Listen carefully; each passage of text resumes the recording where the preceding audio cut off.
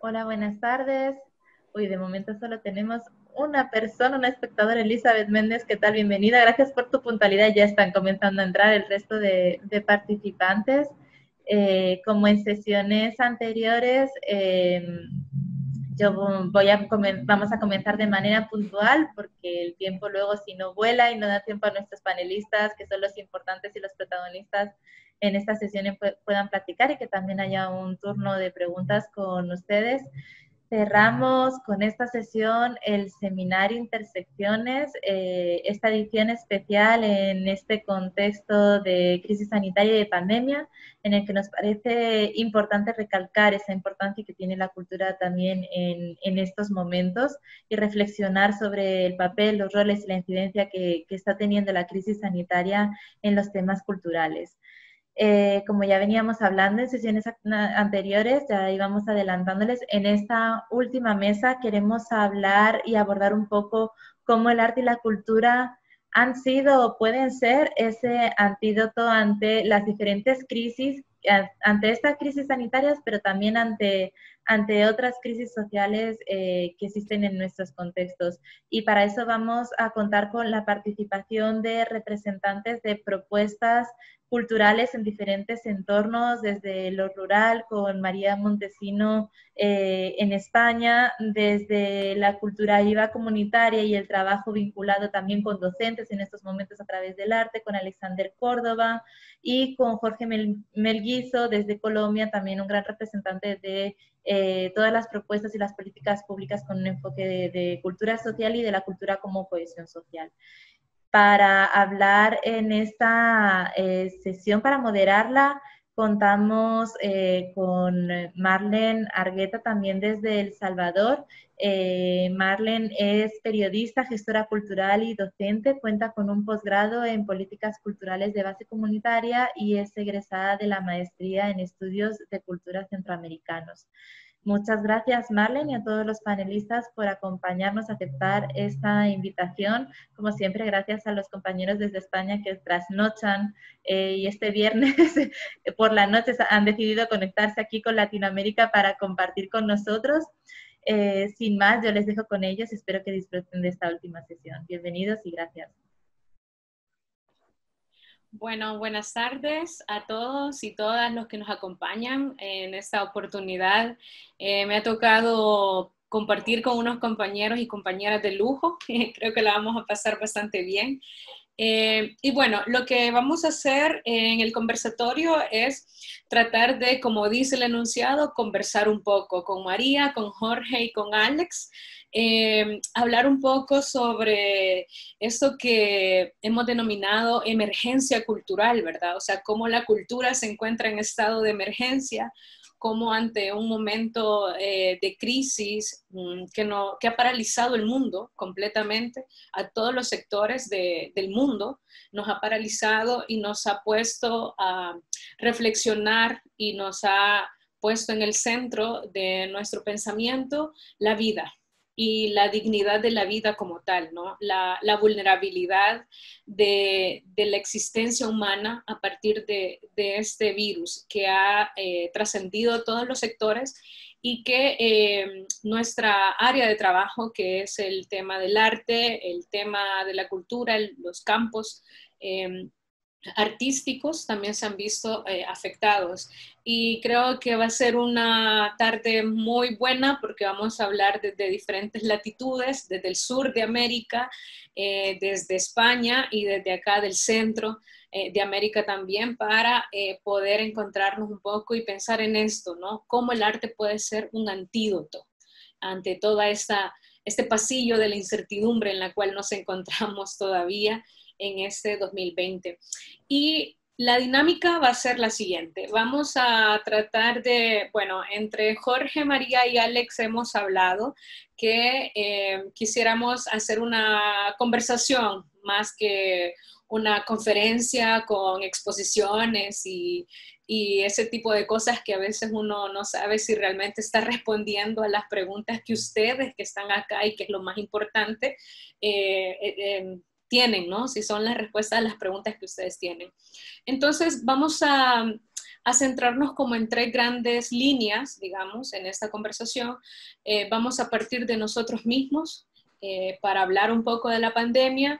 Eh, luego vamos a hablar sobre nuestros contextos y, y, ahí vamos a tratar de hacer un intercambio y luego vamos a tratar de pensar en el futuro, ¿verdad? ¿Cómo podemos pensar el futuro? Creo que eh, muchos de nosotras y nosotras estamos pensando, bueno, ¿y ahora qué? ¿Y ahora cómo? ¿Y hacia dónde? Eh, y María y Jorge y Alex han estado trabajando en, este, en estos meses en ciertas, eh, bueno, reflexionando también en ciertas posibilidades que queremos escucharles.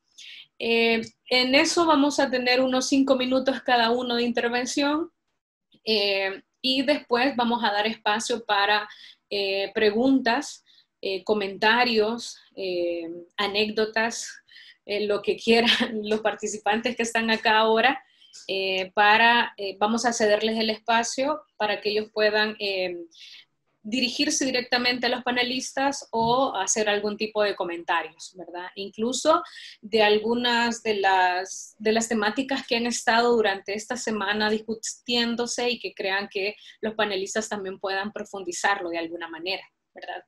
Entonces, voy a comenzar, primero lo, que, lo primero que voy a hacer es eh, profundizar un poco más en quiénes son los, eh, las personas que nos acompañan en este momento. Eh, nos acompaña María Montesinos, que es coordinadora de Rural Experimenta, la Ortiga Colectiva en España. Ella es socióloga por la Universidad del País Vasco y máster en agente de igualdad. Sus focos de interés se centran en el pensamiento crítico, las ciencias sociales, el feminismo y la agroecología como motores de cambio social.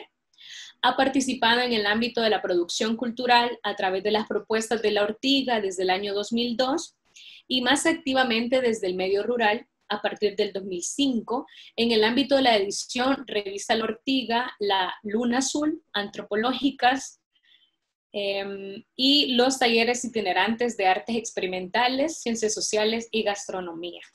María, podemos comenzar em, este intercambio, eh, digamos, eh, y te quería hacer una pregunta, ¿verdad? Lo primero es pensar en nosotros y la pandemia, ¿verdad? ¿Cómo vivimos la pandemia en nuestro quehacer cotidiano, en tu quehacer creativo, desde la ruralidad también, eh, que es algo para nosotros, creo que eh, bastante interesante porque a veces las fronteras de las ruralidades se nos van eh, acortando, ¿no? Al menos acá en el país no es como tan visible esa, esa línea, esa frontera de lo rural, ¿no? Entonces quisiera saber qué significó el, el confinamiento para, para ti y para los proyectos culturales que estuviste desarrollando eh, durante, este, durante esta pandemia y durante este confinamiento específicamente. Muchísimas gracias, Marlene. Bueno, en primer lugar, muchísimas gracias a los organizadores de este encuentro pues, por darme la, la oportunidad de participar porque estoy encantada ¿no? de poder compartir este, este tiempo y este espacio con, con vosotras y con vosotros. Em, por hacer algún apunte, para situar un poco, contextualizar quizás un, pelín más desde dónde hablo, ¿no? Em, soy socióloga, como bien explicabas. Em, editamos a través de la Ortiga Colectiva una revista que es fundamentalmente la actividad más reconocida que tenemos, pero desde hace ya bastantes años soy también eh, ganadera ecológica y es en el mundo de la alimentación donde más me muevo últimamente, ¿no? tan vinculada a lo rural. Y a través de esa alimentación, de esa producción de alimentos ecológicos, em, formo parte de muchas redes donde se habla también de cultura, de patrimonio inmaterial, de soberanía alimentaria. Y últimamente eh, estamos defendiendo y trabajando mucho ese tipo de espacios, ¿no? Reivindicar eh, cómo producir alimentos también es un hecho cultural, y, cómo trabajar desde lo colectivo en los pueblos pequeñitos es también eh, una oportunidad ¿no? de, poder resistir em, en comunidad. Os estoy hablando ahora mismo desde un pueblecito de 180 habitantes en el sur de Cantabria. Eh, Cantabria está en el norte de España. Eh, yo estoy ahora mismo en, alta montaña, en un pueblecito pequeño, y aquí es desde donde desarrollo mi actividad habitualmente. Eh, respecto a la pregunta que me hacías, Marlene, sobre cómo hemos vivido la pandemia o cómo he vivido la pandemia, eh, por resumirlo, y luego podremos eh, comentar con los compañeros y, con las personas que nos están escuchando, para mí ha habido como dos grandes focos, por eso quería comentar lo de que ahora mismo soy ganadera, soy productora agroecológica. Ha habido dos grandes focos. Durante el confinamiento, eh, yo como ganadera era eh, lo que en España se llamó eh, trabajadora esencial, es decir, yo podía salir a diario a realizar la actividad en el campo de cuidado de animales. Nosotros además tenemos una, ganadería que se llama La Lejuca, que es una ganadería en extensivo, donde los animales bueno, pues están todo el rato fuera, en el medio, en dehesas, en montes, en pastos comunales. Entonces, el poder haber salido a diario al cuidar esos animales, a caminar, a estar en el monte, para mí ha sido, bueno, pues evidentemente media vida, ¿no? Y a la vez eh, lo he combinado con esa, ese otro 50% que ha sido mucho teletrabajo, más vinculado a la artiga, más vinculado a la cultura. Entonces quizás haya tenido ese doble prisma de estar en dos mundos muy diferentes a la vez que, que muy similares, ¿no? Y en este sentido, por ejemplo, me ha dado la sensación de decir, bueno, no todo puede ser teletrabajo, no todos podemos teletrabajar, hay cuerpos que se tienen que exponer también a ciertos riesgos para que los demás eh, puedan estar en casa teletrabajando. Esto en España se ha hecho como muy evidente, ¿no? Como el tema de los cuidados, de, pues, por supuesto, todos los sanitarios, los productores de alimentos, bueno, todo lo que se consideró trabajo esencial, éramos personas, lógicamente, que teníamos que salir de casa y como también reivindicábamos que no todo puede ser teletrabajar porque hay una brecha, una brecha digital muy importante, ¿no? más aún en lo rural, eh, más aún con las personas mayores, eh, con personas en situación de precariedad. Es decir, eh, ese confinamiento expresó de una manera también material, también corpórea o encarnada esas diferencias ¿no? y, esos, y esos matices. Entonces yo he vivido, digamos, en esa en ese 50% de vida fuera, muy vinculada a los animales, a la naturaleza, a tener que salir, a tener ese espacio también de, relajación, si se quiere decir de alguna manera, y esa vida eh, compartida con otros compañeros y compañeras que no podían salir, que estaban teletrabajando. Entonces, quizás he sido testigo eh, y he tenido esa doble experiencia, ¿no? por resumirlo de alguna manera. Bien, gracias María. Qué interesante eso que mencionas de los pueblos pequeñitos, decís, ¿verdad? Como la respuesta muchas veces también puede estar en eso, en lo más pequeño, en lo comunitario. Creo que eso es algo de las experiencias eh, grandes que, bueno, que ahora te escucho y me, anima mucho. Eh, bueno, ahora vamos a pasar con Jorge. Em, Jorge eh, es de Colombia, estudió comunicación social, periodista, o sea, es mi colega también.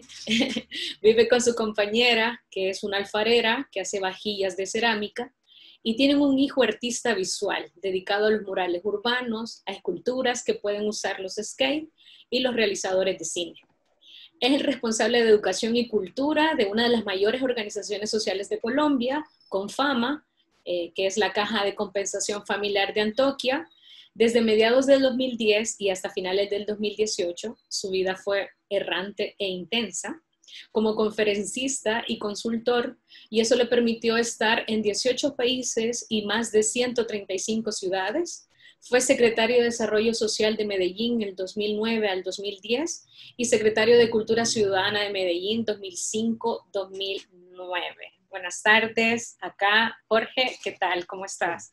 Bueno, Marlene, encantado de volver, aunque sea de esta manera extraña, a El Salvador, un país en el que he tenido la posibilidad de compartir con ustedes durante varias veces y tengo muy buenos amigos. Eh, conozco el Centro Cultural España, conozco, hombre, lástima, el proyecto de la Casa Tomada que ahora tuvieron que entregar su casa. Pero bueno, me gusta mucho el trabajo que se ha hecho en El Salvador y, por ejemplo, con los amigos de TNT con Alex y con todo el colectivo hemos tenido un trabajo muy, muy interesante desde hace años. Y también un saludo a María, que conocí a María por algo de lo que escribís en el diario.es, que es un portal que sigo de noticias, eh, un muy buen diario, además porque tengo relación con Ignacio Escobar y eh, con Gumercindo La Fuente desde hace rato por los premios GAO aquí en Medellín. Entonces, bueno, encantado de, compartir con ustedes. Muchas gracias a Cristina y, a y al centro por la invitación. Bien, eh, contanos entonces, Jorge, eh, ¿cómo viviste la pandemia en tu quehacer cotidiano, en tu quehacer creativo? Eh, ¿Qué significó el confinamiento para los proyectos culturales, eh, en estos viajes, en estas idas, ¿no? Que siempre estás yendo, viajando mucho también. ¿Qué, ¿Qué, pasó, no? Bien, ha sido especial, o sea, yo creo que pues para todos ha sido especial, pero en dos o tres momentos. Cuando la pandemia empezó, nosotros en Medellín empezamos confinamiento el 14 de marzo, que además es el día de mi cumpleaños, o sea, celebré mi cumpleaños en el primer confinamiento, en el primer día de confinamiento, y yo mantengo el confinamiento hasta ahora, mi esposo y yo. Solo hemos salido en estos siete meses por fuera del barrio cinco veces, por fuera de la casa, pues hemos salido cinco veces, eh, en dos ocasiones a un asunto de un funeral de un primo que murió no, no, por COVID, y tomamos la decisión de acompañarlo, incluyendo el riesgo, asumiendo el riesgo que traía. Dos veces donde mi madre y una vez a una notaría hacer una vuelta de estas tontas que te ponen en los trámites para algún contrato. Entonces, solo cinco veces he salido, ni a un supermercado, ni absolutamente a nada, ni a transporte público. Yo no tengo auto, no, en mi casa no hay auto, somos usuarios de transporte público. Entonces, solo nos hemos movido por el, por el barrio. Eh, primera circunstancia entonces, siete meses de confinamiento después de haber andado de, lado en lado durante muchos años. Segundo asunto, yo cuando el confinamiento, cuando la pandemia empezó en Colombia, yo estaba en ese cargo que dijiste, dirigiendo educación y cultura en Confama, una gran organización social, una entidad que tiene 4.500 empleados, yo tenía a mi cargo 997 personas en proyecto educativo y cultural y un presupuesto que en dólares eh, son unos 35 millones de dólares el presupuesto de educación y cultura, el presupuesto anual. Es decir, tenía un muy buen trabajo, era tenía un cargo directivo, me pagaba muy bien y decidí renunciar en plena pandemia. El 8 de mayo me fui y decidí renunciar en parte para regresar a esto que estamos haciendo en este momento, en buena parte para esto buscando tal vez autonomía, buscando tal vez la propia voz, buscando un trabajo que me gusta mucho, que es este, de compartir las experiencias con gente de muchos otros lugares. Y esa es la tercera parte. Desde el 8 de mayo hasta hoy, aquí estaba haciendo cuentas ahora mientras empezábamos y no sé, he estado en 11 eh, o 12 países virtualmente eh, en Argentina, en Brasil, en Chile, en Uruguay, en Perú, en México varias veces, en El Salvador, eh, en, Panamá, en España. Eh, y aquí en Colombia he tenido la oportunidad, por un trabajo que estoy haciendo para el Ministerio de Cultura y la Universidad Tadeo Lozano, he tenido la oportunidad de estar en todo el país.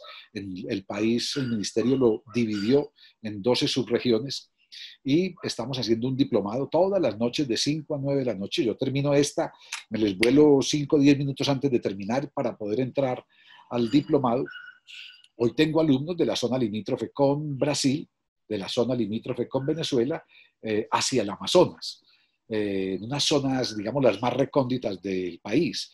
Entonces he estado bueno, participando de muchas conversaciones, muy emocionado en la construcción de pensamiento, produciendo mucho, escribiendo mucho, eh, haciendo mucha reflexión, mucha presentación y construyendo también propuestas que van muy en la línea de lo que dijiste, María, en la, en la línea de lo colectivo, de lo asociativo, de lo solidario, que es algo de lo que luego hablaré. Es decir, yo extrañamente les, va a sonar extraño esto, pero mi trabajo de estos meses me ha hecho ser muy optimista frente al papel de la cultura eh, en esta sociedad, frente a las nuevas dimensiones de la cultura, frente a las nuevas posibilidades para la cultura, pero también me ha hecho ser muy optimista frente a los temas que la cultura eh, empieza a asumir digamos que eran temas de siempre, pero yo creo que hoy asuntos como democracia, asuntos como género, asuntos como equidad, asuntos como cambio climático, asuntos como inclusión, asuntos como la construcción de lo colectivo, asuntos como los de economía social y solidaria, son temas que la cultura en estas conversaciones que he tenido con proyectos rurales perdidos en un resguardo indígena en Colombia o con proyectos en grandes ciudades, eh, en fin, están eh, siendo el objeto de reflexión. Eh, y complemento la respuesta para terminar.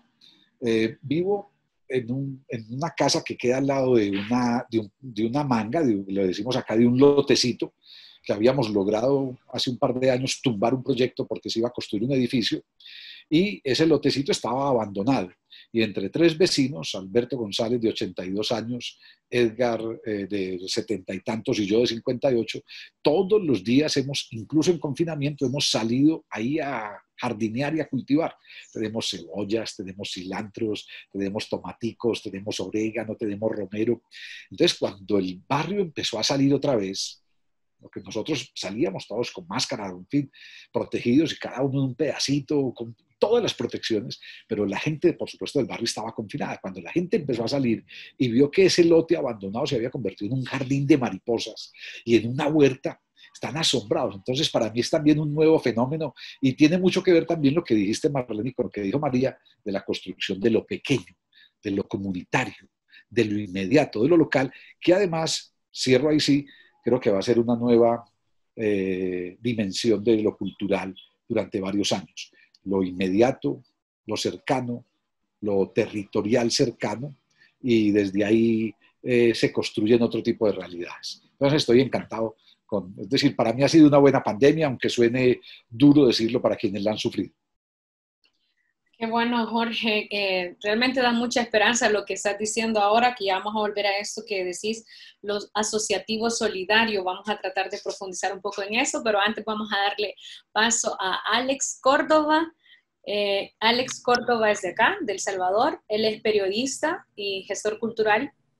Es productor artístico y animador. Permítanme que se me va a decir que... Eh, es productor artístico y animador sociocultural. Hace 10 años cofundó Asociación Escénica, en donde es responsable de la gestión de proyectos culturales de formación y producción con enfoque comunitario. Por su paso en el Ministerio de Cultura, fue responsable nacional de la red de Casas de la Cultura y Convivencia, del programa Ibercultura Viva y el programa no formal de educación artística infantil La Colmenita. Actualmente es miembro fundador de la Red Salvadoreña de Cultura Viva Comunitaria y vocero de país ante el Movimiento Mesoamericano de Arte Comunitario Maraca, en donde se unifican esfuerzos de trabajo colaborativo e intercambios de experiencia dirigidos a fortalecer la cultura viva comunitaria en la región mesoamericana. Eh, bien, Alex, si ahora vos nos puedes comentar un poco cómo viviste el confinamiento? Eh, ¿qué, cambió en, en, este, en tus procesos creativos, en tus rutinas culturales en esa pandemia? Gracias, Marlen. Buenas tardes, eh, María y Jorge. Un abrazo en la distancia.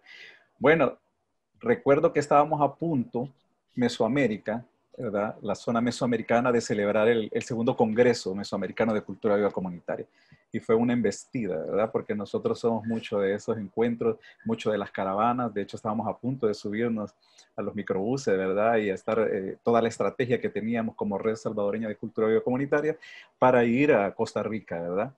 Eh, y fue en esos días donde se implementaron las medidas de seguridad, de bioseguridad, y eh, la cuarentena obligatoria.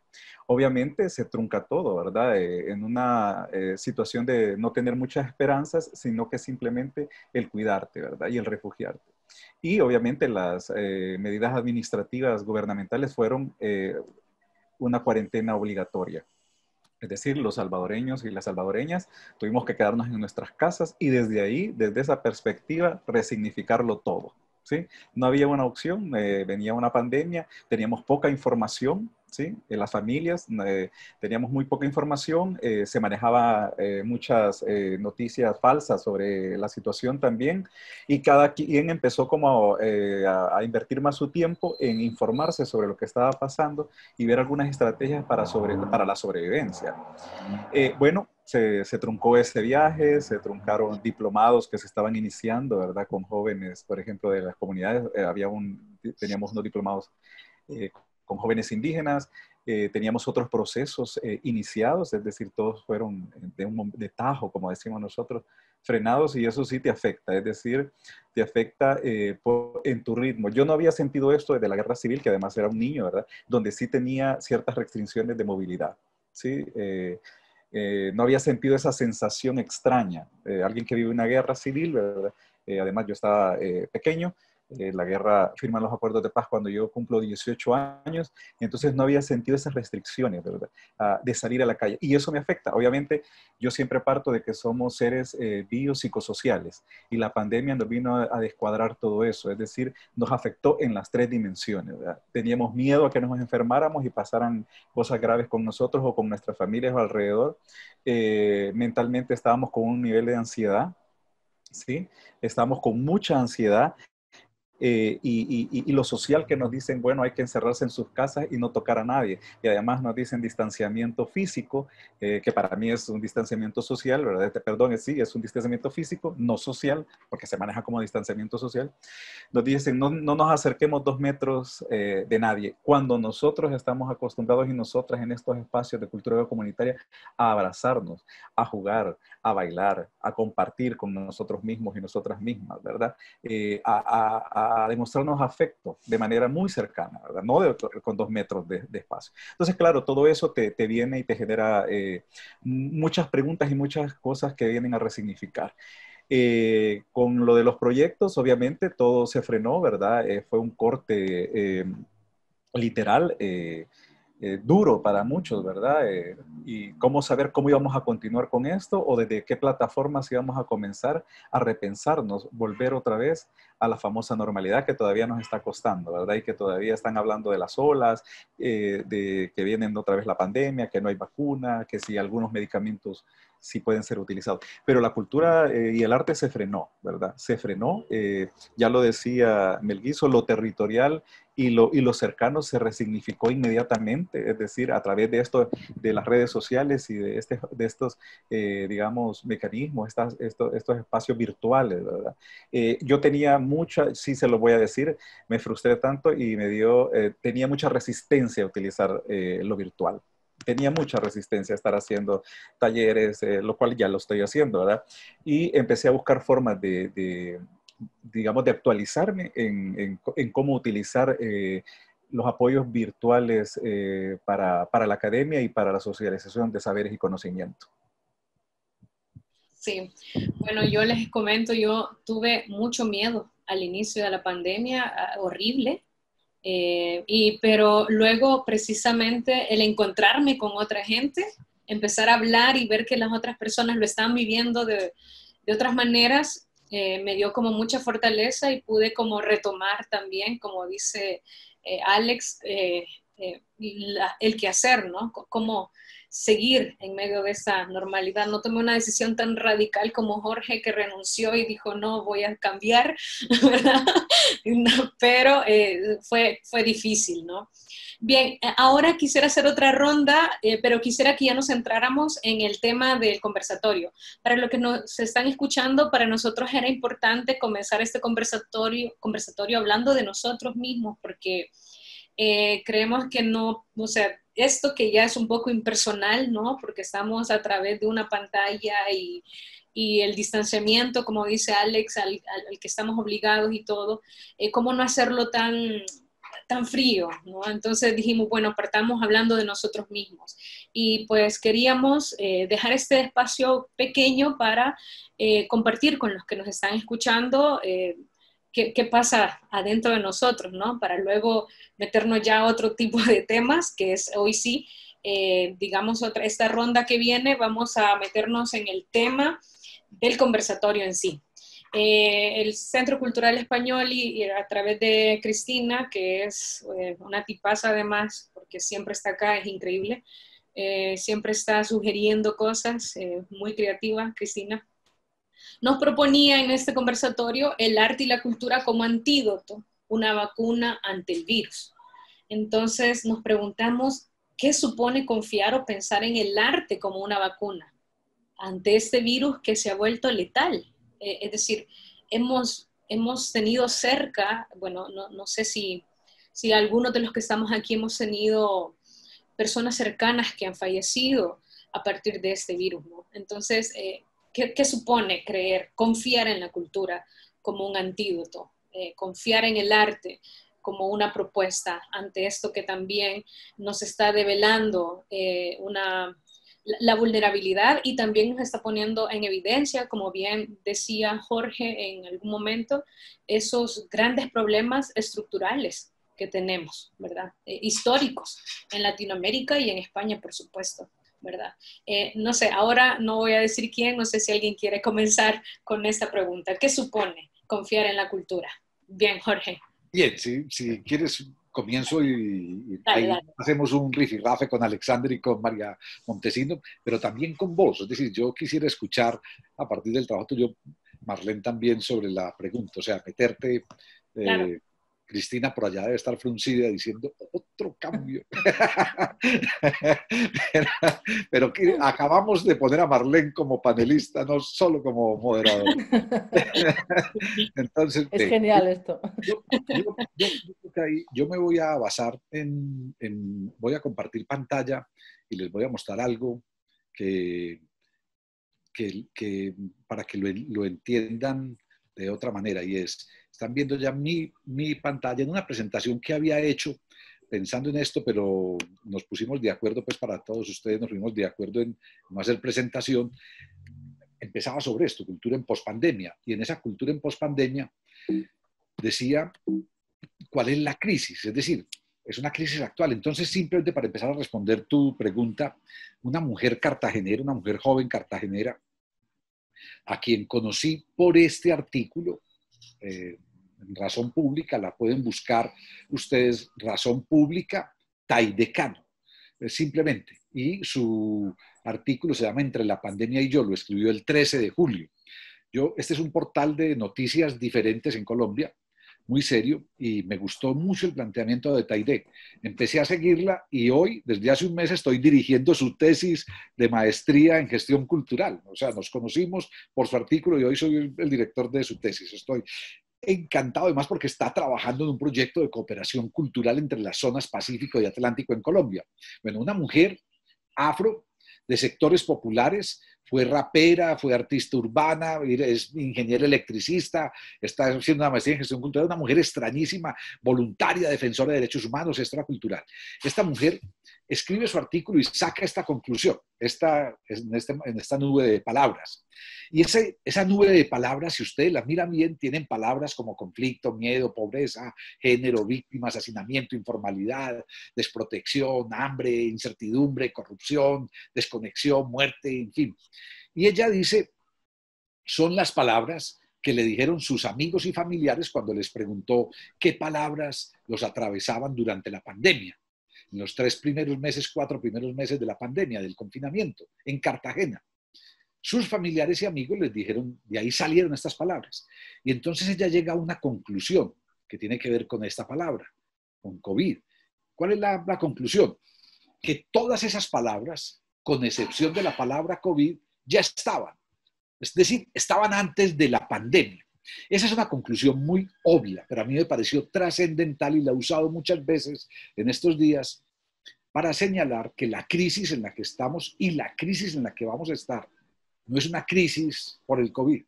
Por lo menos en Latinoamérica, nuestra crisis de inequidad, nuestra crisis de violencia o de violencias, nuestras crisis de corrupción en El Salvador, en México, en Colombia, en Guatemala, en Argentina, en Brasil, nuestras crisis sociales, económicas, no son crisis causadas por la pandemia, son crisis que ya estaban acá.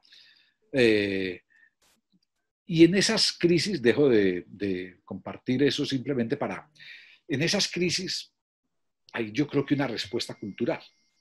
Y la respuesta cultural es que nosotros necesitamos construir una nueva sociedad. La construcción de una nueva sociedad es básicamente un hecho cultural. La construcción de una nueva sociedad no es solo no es solo un hecho económico, no es solo un hecho ambiental, no es solo un hecho social. Recordemos que incluso desde Agenda 21 de Cultura le hicimos una propuesta basada en el documento de Agenda 21 Acciones que se hizo en Bilbao en el 2015, se le hizo una propuesta a Naciones Unidas y luego a Habitat 3 en Quito para que la cultura fuera uno de los cuatro pilares del desarrollo, no el cuarto pilar, como se dice por ahí, porque una mesa de cuatro patas, uno no sabe cuál es la primera, la segunda, la tercera, la cuarta, y no, cuatro patas. Una de las patas del desarrollo es la cultura. Por lo tanto, yo creo mucho hoy en la posibilidad de que a partir de esta eh, crisis exacerbada por el COVID, la cultura realmente tome la dimensión de ser una de las cuatro patas del desarrollo. Pero además, creo que en países como Colombia, con esta diversidad cultural que tenemos, con esta diversidad ambiental que tenemos, nuestras dos principales riquezas son el medio ambiente y la cultura. Y por lo tanto, al ser nuestras principales riquezas, se convierten en nuestra principal posibilidad de construir una sociedad diferente a partir de esfuerzos territoriales, de esfuerzos sectoriales y de que la cultura se haga valer en campos en los que de pronto ha perdido fuerza o nunca la ha tenido. La educación, la salud, la planificación urbana, la seguridad de nuestras ciudades depende mucho de un proyecto cultural. Entonces, creo que es fundamental eh, hoy el papel que la cultura pueda tener como antídoto contra las indiferencias. Y tomo María Montesino, lo de indiferencias, de un libro de Josep Ramoneda, el filósofo catalán que dirigió el Centro de Cultura Contemporánea, cuando la crisis de Lehman Brothers en Europa en el 2008, él dijo, eh, y en un libro que se llama Contra la Indiferencia, dijo, la crisis europea no es solo una crisis económica, es una crisis política, es una crisis ética y es una crisis cultural. Es una crisis política porque es la crisis de la inclusión. Es una crisis, es, eh, eh, porque es una crisis, perdón, de la democracia. Es una crisis política porque es una crisis de la democracia. Pues se preguntaba él desde Barcelona, hace 10 años, ¿a qué llamamos democracia en Europa? Pensemos eso en Latinoamérica. ¿A qué llamamos democracia, Alexander, eh, en El Salvador? ¿A qué llamamos democracia en Colombia? Aquí la democracia está en peligro. Ayer mismo el Congreso, el Senado de la República hizo una mm, cosa tremenda de las mayorías conservadoras y liberales contra eh, las minorías en el Senado y rompió una moción de censura que había contra el ministro de Defensa, ni siquiera permitió que se hiciera, violentando todo el proceso democrático de este país. Entonces, pues, hay una crisis de la democracia, decía Ramoneda, es una crisis política, hay una crisis ética, porque es una crisis de la inclusión, a quién incluye y a quién excluye los proyectos de desarrollo, y él decía, hay una crisis cultural porque es la crisis de la indiferencia. Esas tres crisis yo me las aplico a Latinoamérica perfectamente. Y creo entonces que la crisis de la indiferencia tiene en la cultura una respuesta, o mejor, una buena parte de la respuesta. La cultura es un antídoto contra las múltiples indiferencias.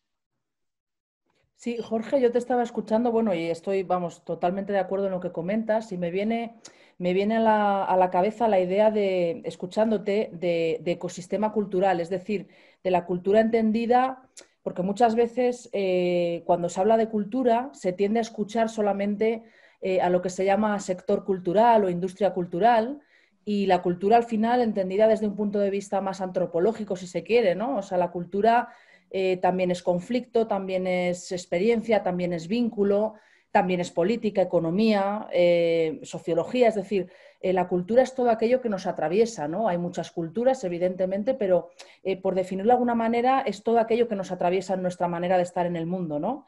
Eh, creo que ahora mismo eh, una vacuna, por decirlo de alguna manera, eh, es entender la cultura como ecosistema cultural, ¿no? donde tengamos que respetar una biodiversidad, donde tengamos que, tener en cuenta también esa, esa, necesaria, cuando antes comentabas el tema de lo inmediato, de lo pequeño, de lo micro, esa necesaria toma de conciencia de quizás relocalizar muchos procesos, Mm, atender a lo cercano. Esto no quiere decir tener una mente eh, estrecha, ¿no? Eh, sino que mirando hacia, hacia lo global, atender a lo cercano. Creo que ahí hay muchos de los procesos que nos van a permitir em, y lo vinculo un poco a lo que estabas comentando, Jorge, estamos ahora mismo yo creo que en un cambio de paradigma. Eh, deberíamos de empezar a hablar no tanto de gestionar la cultura, de transformar la cultura, aunque evidentemente es necesario gestionar y transformar, sino en el paradigma de, habitar, ¿no? O sea, yo creo que ahora mismo eh, tenemos que, reivindicar ese habitar la cultura, ese practicar la cultura y sobre todo escuchar y atender mucho a las personas y a los colectivos que, no formamos parte de, ese, esos profesionales de la cultura, ¿no? Yo creo que están surgiendo infinidad de proyectos. Eh, que están trabajando en redes de apoyo mutuo, están trabajando el cooperativismo cultural, están trabajando la democracia participativa, los modelos de cogobernanza también en la toma de decisiones. Yo creo que por ahí mm, hay unos escenarios, unos contextos realmente eh, muy interesantes para, poder eh, estar también en esas mesas de toma de decisiones transversales ¿no? y poder tener un papel en, la economía, en la política. Y, ya para, cerrar, me gustaría acordarme también de un término que utilizo mucho. Yo recomiendo un libro de una amiga que es filósofa, lo, publicó además con un colectivo que se llama La Vorágine. Ella es Patricia Manrique, el libro se llama Lo común sentido como sentido común. Está en la página web de la, de la Vorágine la referencia, luego compartiré enlaces por aquí. Em, eh, me parece muy interesante cómo ella eh, habla de domestizar, con Z, domestizar lo político, ¿no? Es decir, eh, tenemos que comenzar a mm, llevar a la esfera política, y hablo de la política como manera de, convivir, no política como, como, la de los partidos políticos, ¿no? sino, digamos, llevar todos los cuidados y toda la necesidad de cuidarnos mutuamente eh, y de poner la vida en el centro, que antes comentaba Marlene, me parece muy importante esto, eh, llevarlo también al ámbito de, la política. ¿no? Creo que es necesario cambiar esa perspectiva, darnos cuenta de qué es lo esencial para vivir y, no atender tanto a criterios muchas veces economicistas o que se quedan siempre bueno, pues en, el, en la subvención cultural o en la necesidad, eh, o sea, solamente en el valor eh, de, lo económico como moneda de cambio. ¿no? Y hay muchísimos proyectos que estamos, por ejemplo, que somos asociaciones culturales sin ánimo de lucro o colectivos que han surgido, que han emergido eh, en, esta, en esta pandemia, en este confinamiento, mm, precisamente también para tejer desde ahí. ¿no? Yo creo que es interesante todo esto. Eh, voy a poner por aquí el libro. Ah, yo creo que ya, ya lo pusieron. Ah, ya Ahí lo está ya el link. Sí, claro. Cristina ya lo acaba de poner. Qué maravilla, que estoy ya viéndolo. Es una maravilla esto. lo común Yo voy a compartir otro enlace también porque me acabo de acordar. Es lo máximo. Es que es impresionante. Bueno, eh, quiero, quiero, quiero retomar lo que decía María sobre, sobre esta parte de eh, el sentido común. Miren, si, el arte logra, como una de las dimensiones más fuertes de la cultura, ser un antídoto frente a una crisis, eh, lo, podemos encontrar también eh, en lo territorial. En las, podemos encontrar muchas este, iniciativas de base comunitaria con unas propuestas mucho, eh, digamos, muy, enriquecedoras para volver, digamos, a, a reparar este tejido, este tejido social a la que la pandemia nos ha llevado, ¿verdad? Hacia, hacia, hacia orillas, porque así estamos ahora, en, en orillas, en nichos, en guetos, digo yo, ¿verdad? Eh, los digitales, los virtuales. Pero cómo, cómo nosotros también tenemos que pensar en el territorio y esa riqueza que el territorio nos puede proveer para eh, buscar un antídoto, que sea un antídoto que cure, ¿verdad? Eh, un antídoto que sea con un gran, alto nivel de inclusión, diverso, eh, pertinente también, eh, cómo, esta dimensión del arte, que a través de nosotros mismos, nosotras mismas, lo, también lo podemos dar. Es decir, ese antídoto que se, que se busca en ese laboratorio eh, de las iniciativas artísticas, culturales, esos espacios que están ahí, ¿verdad? En la comunidad y que además me conocen, que conozcan mi territorio y sé cómo utilizar lo local, lo que yo tengo en ese momento, y no esperar como un antídoto que venga desde muy lejos, ¿verdad? O preparado o enlatado si lo podemos conseguir nosotros y nosotras en el espacio. Eh, hay que repensar en políticas públicas eh, de base territorial en este momento con un gran enfoque eh, de autocuido, el arteterapia, ¿verdad? Esas, esas son las iniciativas que en este momento se necesitan paralelas a, lo, biológico, que es la salud, ¿no? Es de que tenemos que tener medicamentos si, pasa, si nos pasa algo. y poco a poco ir retejiendo, ¿verdad? Esos, esos hilos eh, de la economía local, porque también aquí tenemos, no podemos eh, dejar la parte económica, eh, ¿verdad? La parte social, sociocultural que nos, en, la, en, la, que nosotros estamos sentados, digamos, en, en, nuestros territorios. Y creo que América Latina está pasando por lo mismo. Ahora, si este antídoto necesita inversión, ¿sí? se necesita invertir en este antídoto, necesitamos buscar esas líneas. Y son, allí son las, las respuestas tienen que venir desde la comunidad internacional, desde los mismos gobiernos, ¿verdad? De cómo los gobiernos van a distribuir ahora los presupuestos, ¿verdad? Si ese presupuesto de salud, como ya lo decía Jorge, que también está vinculado con, lo, con la cultura, ¿verdad? Y la cultura con la, la, dimensión de las artes y la dimensión de las artes con el autocuido de la población, en grupos etarios, niñas, niños, adolescentes, las mujeres, eh, la gente que tiene alguna discapacidad, ¿verdad?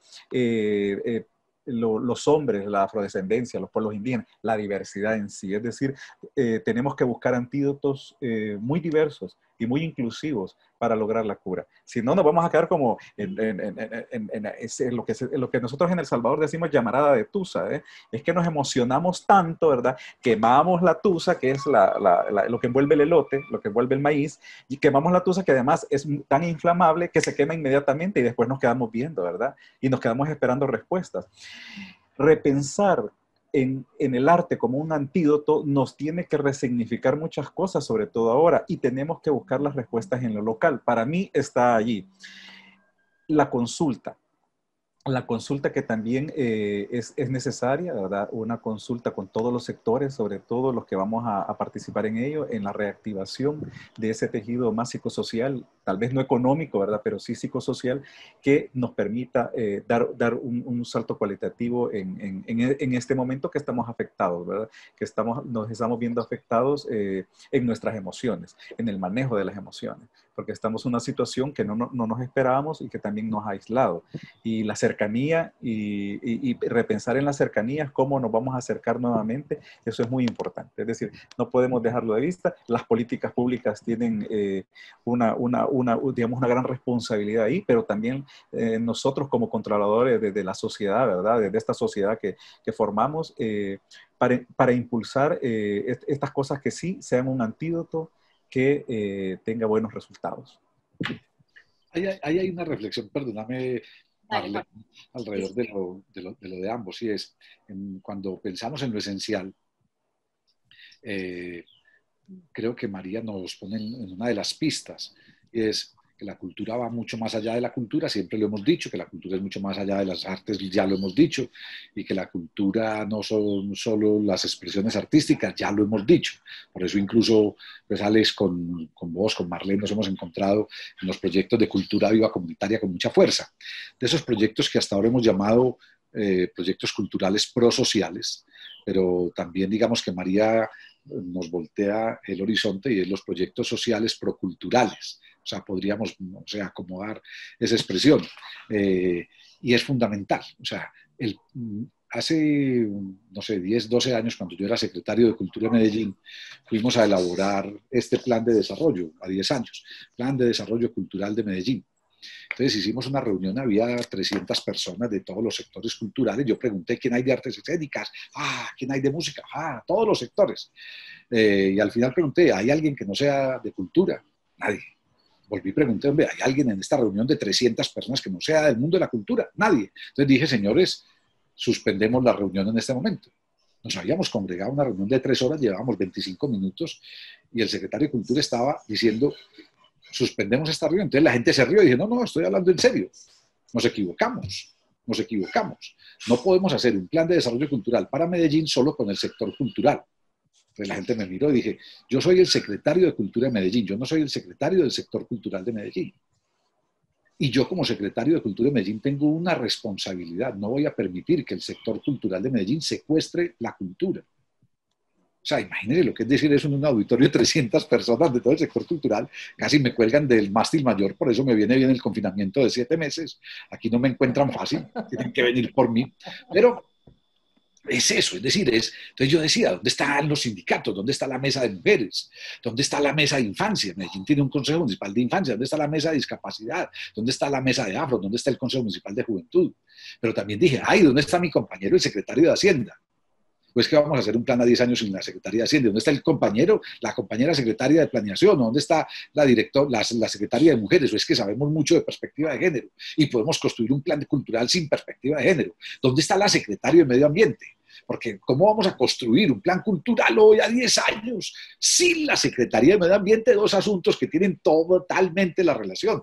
¿Dónde está la Secretaría de Inclusión Social que trabaja con personas eh, menores y con personas mayores y con personas eh, con situaciones especiales, habitantes de calle o discapacidad? Pues que sabemos mucho de eso. Es decir, ¿Dónde están los otros sectores de la sociedad? Entonces yo creo que es un buen momento, un muy buen momento hoy para que desde los proyectos culturales también nos bajemos de la soberbia del proyecto cultural y pensemos que el proyecto cultural no es el proyecto desde los sectores culturales, sino el proyecto de toda una sociedad y que tenemos que ser capaces de involucrar a otra gente en el diseño de una perspectiva cultural de una sociedad, o en el diseño de una sociedad desde una perspectiva cultural.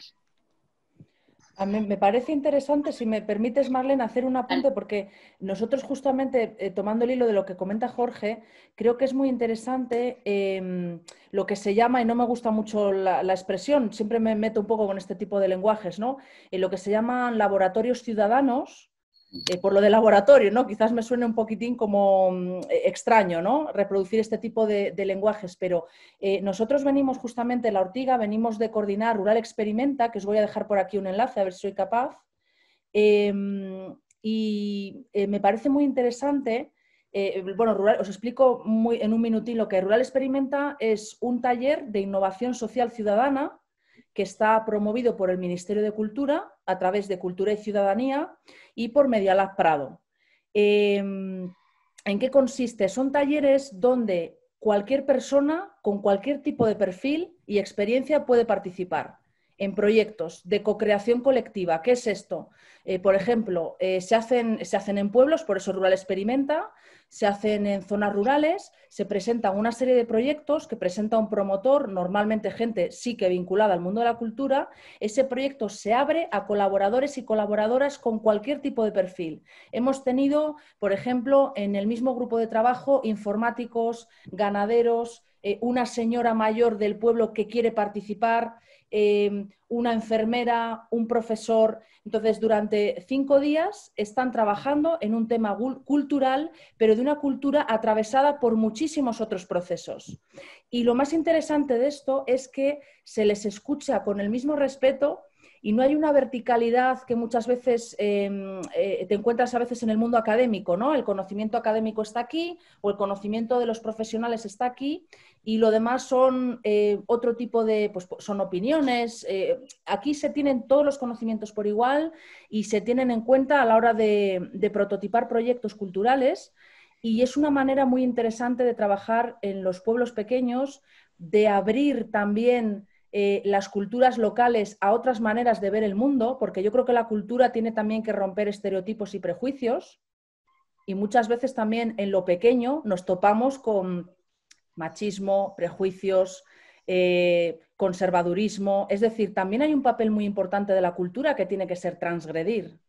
Y no nos podemos olvidar de esto, ¿no? Y que esto a la vez también eh, sea integrador, es decir, que las personas que están eh, en, un, pueblo, en lo rural, no, se, no sientan que llega una especie de helicóptero con una serie de señores paracaidistas que vienen de la ciudad con muchos papeles y muchos títulos y de repente caen durante tres o cuatro días, hacen una jornada, un encuentro eh, muy vistoso, muy maravilloso, con mucho diseño gráfico, pero luego no les queda absolutamente nada. Es decir, esto es importante también, ¿no? Eh, que haya, que se devuelva algo a las personas que, eh, que colaboran y que participan. Y quería comentar el tema este de, los talleres de, participación ciudadana, donde creo que es, em, creo que es interesante ¿no? trabajar por ahí, por las democracias participativas, por los procesos de co-creación, ¿no? escucharnos a todos y a todas para, para poder hacer una cultura también más resiliente. Yo solo antes de que le dé eh, la palabra a Alex, creo que está pidiendo la palabra. Este, solo quería decir algo sobre esto que están proponiendo ustedes porque es eh, ver, ir más allá, ¿no? O sea, parece que la respuesta es más integral, ¿verdad? La respuesta no es de un sector, ¿verdad? Si, eh, lo que ha dicho eh, María para mí es muy revelador, esto que dice lo común sentido como sentido común, los cuidados y cuidarnos a nosotros, y eso tiene mucho de femenino, creo, ¿no? O sea, eh, nuestro mundo ha sido muy masculinizado, nuestros espacios son muy masculinos y por tanto muy, muy machistas, ¿no? También. Entonces creo que eh, darle como, o sea, la respuesta siempre ha estado también dentro de lo femenino, en, en, esto de, del cuido, ¿no? Eh, en, en, general, que también es como una propuesta eh, que tiene que ver con lo, lo, cultural como antídoto, ¿no? Alex, vos ibas a decir algo. Sí, era, era, reforzar un poco lo que decía María, ¿verdad? De lo local. Es, es, tan importante hacer todas esas sinergias eh, con, con, la parte, de, con todas esas iniciativas locales que podemos encontrar en búsqueda de soluciones, ¿verdad? en búsqueda de, de, cuestionarnos también cómo estamos haciendo las cosas. Y puede llegar que desde ese local, desde el territorio, surja un antídoto o una respuesta para lo nacional. Es decir, porque basado en, en, en, contar con los recursos locales, ¿verdad? Con, la, con el tejido humano, con el tejido social, con, con, lo institucional que hay ahí, con algunos recursos pertinentes eh, de, de ese territorio, puede entonces reconstruirse y redirigirse una, una digamos, una, una solución o, o, un modelo a seguir, un paradigma a lo, a lo nacional, ¿verdad? Y, que, que, y puede ser a lo, a, lo, a lo regional. Ya ha surgido, hay muchos eh, territorios que han dado propuestas interesantes desde la cultura, ¿verdad? Desde todas esas sinergias que, que, está la salud, está el medio ambiente, está el arte, eh, está lo, lo, lo científico, eh, visto desde lo local. Sobre todo, yo lo hablo de lo local de, de América Latina y, y es, es, es, que es una localidad muy pertinente, ¿verdad, Jorge? Eh, es una, una localidad eh, donde también eh, el, conocimiento ancestral ¿sí? de nuestros pueblos indígenas está presente. Entonces, eh, todas esas cosas y ese cuidado también de la Pachamama que ya decías, eh, muy, muy, muy de corte maternal femenino, tiene que ver, ¿verdad? Tiene que ver sobre la base de un sistema que toma decisiones desde lo tradicional y desde lo patriarcal. Y tiene que ver con la cultura. Ahí, está, ahí empieza todo. Bien, qué interesante eso que ustedes están diciendo porque... Eh, eh, por ejemplo, acá en, en, Centroamérica está pasando una cosa muy grave, ¿no? Porque nosotros estamos ahora aquí reunidos hablando sobre, eh, como dice Jorge, tiene que estar alguien de medio ambiente, pero también tiene que estar el de Hacienda a la par, eh, o sea, porque al final nos tenemos que salvar en racimo, ¿no? Como decía un, un sacerdote acá que fue asesinado también durante la guerra. Pero en Costa Rica, por ejemplo, ahorita hay un recorte presupuestario para el sector, bueno, para el Ministerio de Cultura, específicamente para los artistas, eh, grandísimo, ¿no? O sea, está pasando, eh, hay mucha manifestación, hay mucho revuelo aquí nomás en Costa Rica, ¿no? Que digamos que es el país que tiene... Eh, el presupuesto más alto en, en, la rama uh, cultural como tal, ¿no? De, de, Centroamérica.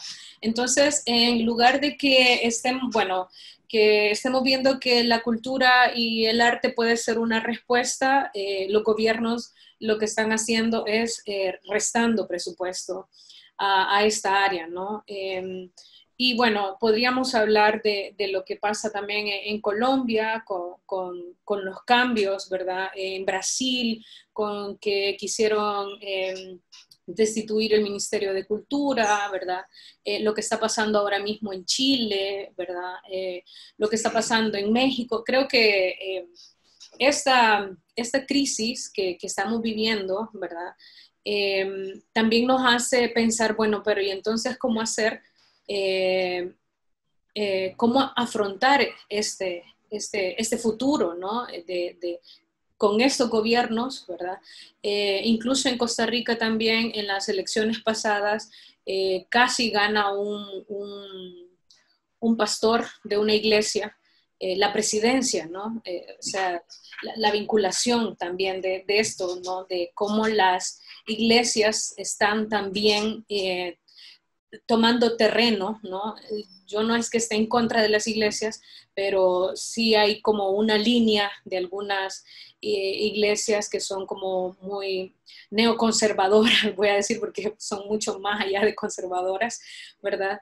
Y que están eh, ganando territorio. Acá en El Salvador pasa también que eh, ciertos ciertas áreas como eh, desarrollo territorial está muy cooptado por eh, la iglesia evangélica y están eh, pasando muchas cosas que uno empieza a dudar si estamos pensando en que la cultura podría ser una respuesta a, a, esta crisis que estamos viviendo. Y no solamente la crisis que, que hemos visto por este virus del COVID, sino a la crisis estructural que tenemos, ¿verdad? Que está en todos los temas que ustedes ya han mencionado, ¿no? Entonces, ante ese contexto, con estos gobiernos, eh, con este oleaje de, eh, de neoconservadurismo, de recortes presupuestarios, eh, de la vulnerabilidad y la fragilidad que hemos experimentado ante, esta, ante este suceso de,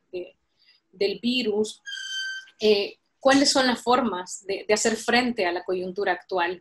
Eh, ¿Qué podrían decirnos ustedes? Que, ¿Cuáles podrían ser esas acciones que, que se realizan? Eh, ya más o menos lo hemos visto. Eh, bueno, María nos ha expuesto mucho lo que están haciendo desde, lo, desde esos pequeños espacios, ¿verdad? Dentro de esos pueblos pequeños, ¿verdad? Que creo que es una respuesta fundamental. Eh, pero no sé si nos podrían ampliar de algunas otras experiencias, de algunos otros colectivos, de algunas otras eh, encuentros, eh, incluso encuentros que, como dice Jorge, bueno, él desde su casa ha estado en diferentes países, ¿no? O sea, las fronteras también se, se, se rompen con esto, digamos, podría ser como alguna ventaja, ¿no? Entonces, ustedes nos podrían mencionar algunas acciones o algunas Em, buenas prácticas, dicen en algunos eh, lugares, eh, que, que, nosotros podamos poner un ojo, ¿no? Eh, Mira, yo, yo creo que hay prácticas de todo tipo, de prácticas institucionales. en Brasil, y a pesar de la circunstancia de estar gobernado hoy por un tipo como Bolsonaro, que yo creo que no solo podría uno calificar desde la ideología, sino desde la criminalidad por las decisiones que ha tomado frente a la pandemia, a pesar de estar gobernado por él, se logró en Brasil eh, sacar adelante hace dos meses una ley, la, la ley Aldir Blanc. Esa ley Aldir Blanc es una ley de emergencia cultural. Ahí en el chat puse el nombre de la ley para que se busque en internet. Esa ley Aldir Blanc con Yantira Gali, una de las promotoras de esa ley, una senadora que además es baterista en música, eh, con amigos comunes, Alexandre Santini, con Celio Turino, con otros, lograron sacar adelante ese proyecto. Y es una ley de emergencia cultural para eh, favorecer a las organizaciones culturales. Incluso Úrsula Vidal, que es la secretaria, es la, la, secretaria de Cultura de, de Pará, en el norte de Brasil, en la frontera con Venezuela, es también la secretaria técnica de todas las secretarías de cultura del país. Y Úrsula Vidal hace unos días me comentaba y ya tiene una campaña en marcha, están buscando de por los lugares más recónditos de su estado, el de para a 5.000 hacedores culturales para que se puedan favorecer de la ley Aldir Blanc y no se queden esos recursos sin invertir. Es decir, hay decisiones institucionales como esa que en tiempos de pandemia son fundamentales. Hay decisiones eh, organizativas. Yo creo que ha sido una cosa muy, muy especial la realización de eventos. Aquí hace poco la fiesta del libro desde la misma alcaldía de Medellín en un trabajo con todo el sector del libro de la ciudad se logró hacer virtualmente con un relativo éxito, no por supuesto lo que pasa cuando es físico, que es un evento que produce emoción, pero digamos que fue, son buenos alivios para sectores específicos. O la semana antepasada, el Festival de Teatro de Manizales, una ciudad colombiana, o la, dentro, de, dentro de 10 días se hace el principal evento festivo de la ciudad, que es la Feria de las Flores, también de manera digital, en la conjunción de muchos actores y de muchos recursos. Pero además también, eh, esta semana estamos en, la Fiesta de Artes Escénicas, que es exclusivo de grupos de teatro de la ciudad, que es organizado por los propios grupos de, de teatro. Yo creo que todo esto ha permitido también construir desde esos otros lugares unas solidaridades, unas juntanzas que antes tal vez eran más complejas o más difíciles. Eh, incluso compartiendo recursos que uno podría llamar eh, eh, así alegremente, construyendo un banco de recursos entre organizaciones y entre gestores culturales que antes tampoco existía. Pero además se ha creado la necesidad también de la visibilidad mayor de, la, de los proyectos culturales. Hay una plataforma que enseguida comparto el enlace eh, que me gusta mucho por lo que ha hecho en proyectos frente al COVID, además de la misma plataforma de Agenda 21 de Cultura Cristina, que en Agenda 21, si entras a la pestaña del COVID, hay mucha información o lo que la UNESCO está compartiendo, o en fin, o esta otra plataforma que, les, que llama Observa Culturas. Eh, que bueno, podrán ver muchas cosas, digamos que mueven ese espíritu solidario, ese espíritu cooperativo. Pero retomo también lo que ahora se comentó. Eh, hay un libro que compartiré enseguida, también el enlace, Comunes, un libro, permítame, lo muestro en pantalla para, para motivar a su, a su, a, su, eh, a, la lectura. Eh, en este libro, un segundo, documentos claves, comunes, este documento. Eh, este libro, Comunes Economías de la Colaboración, es hecho en Argentina. Tiene mucho que ver con lo que estamos hablando. Y les leo, bueno, estas dos mujeres, Adriana Benzaken y Marcela son las compiladoras, pero les leo solo algunos de los títulos que aparecen ahí en pantalla, eh, intercambiar y compartir como prácticas culturales. Cuando hablamos de economía colaborativa, ¿de qué estamos hablando? Eh, la voluntad del poder de, economías alternativas, lo, común, el futuro del consumo y del trabajo, economías sociales, economías colaborativas, eh, cooperativismo de plataforma, explorando caminos para una nueva forma de producción de vida. En fin, si nosotros le metemos esta discusión, las de las economías colaborativas, economías sociales, economías alternativas, economías cooperativas, incluso eh, dije cooperativas y este libro me ha servido también mucho, es de España, Cooperativismo y Cultura, una alianza necesaria hecho por la Junta de Galicia en el año 2015 con todo el planteamiento de proyectos cooperativos, en fin, en cultura, o sea, cooperativas culturales y proyectos cooperativos en cultura y la cultura como un elemento para lo cooperativo. Es decir, si nosotros hoy en tiempos, por ejemplo, en Colombia está el gobierno nacional, por primera vez un presidente, hay que reconocer esa parte, por primera vez un presidente de la República pone la cultura como sombrilla de su proyecto de gobierno. ¿Qué pasa? Lo es que decidió que fuera la cultura naranja que llama o la economía, las industrias culturales. Y yo no voy a pelear con las industrias culturales, no. Incluso varios periodistas me han llamado a jalarme de la lengua porque creen que soy muy opositor a las economías naranjas y a las economías culturales. Y digo, no, no, no, no, no. Medellín tuvo grandes industrias culturales, tuvo teatros, tuvo disqueras, tuvo editoriales y no, no, voy a pelear con lo que significan hoy las industrias culturales. Lo que sí estoy dispuesto a pelear es con lo que se llama economía creativa.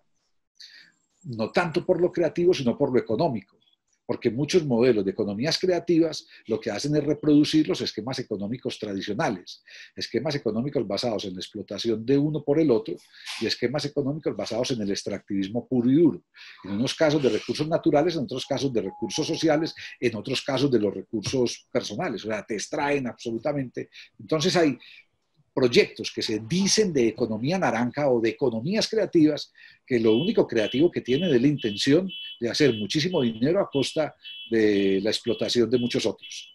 Entonces, creo que sería un buen momento este también, el de que la cultura, los proyectos culturales, la institucionalidad pública, la institucionalidad privada, y hago una frase que no es cierta, la institucionalidad comunitaria, pero cada vez es más cierta, muchas organizaciones comunitarias deberían meterse en esa necesaria conversación sobre las nuevas economías o las economías sociales, alternativas, solidarias, eh, colaborativas, como posibilidad, eh, ya no para construir eh, un elemento cultural, sino para construir un elemento económico que nos generaría una nueva sociedad.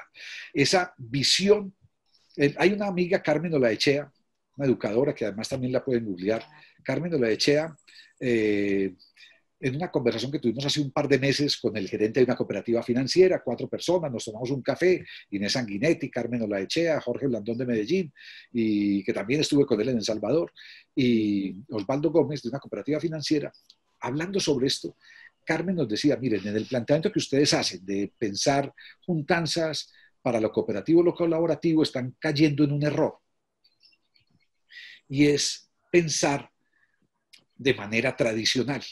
Dice, lo colaborativo, lo cooperativo es también un elemento cultural. Y la cultura, esta sociedad, esta cultura social que tenemos hoy, no nos, no nos induce ni nos conduce a lo colaborativo o a lo, a lo social, nos, nos conduce a las economías tradicionales y a lo individual.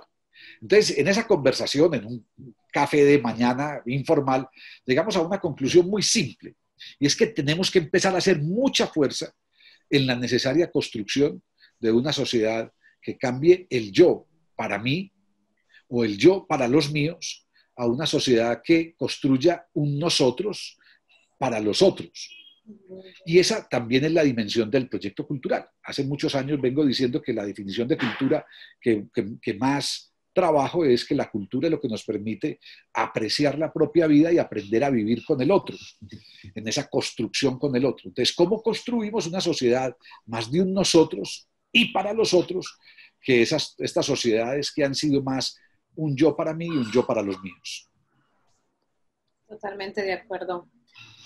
Alex, abordar algo eh, interesante, eh, que tenemos que definir qué cambios culturales nos va a dejar este contexto COVID, ¿verdad? Sí.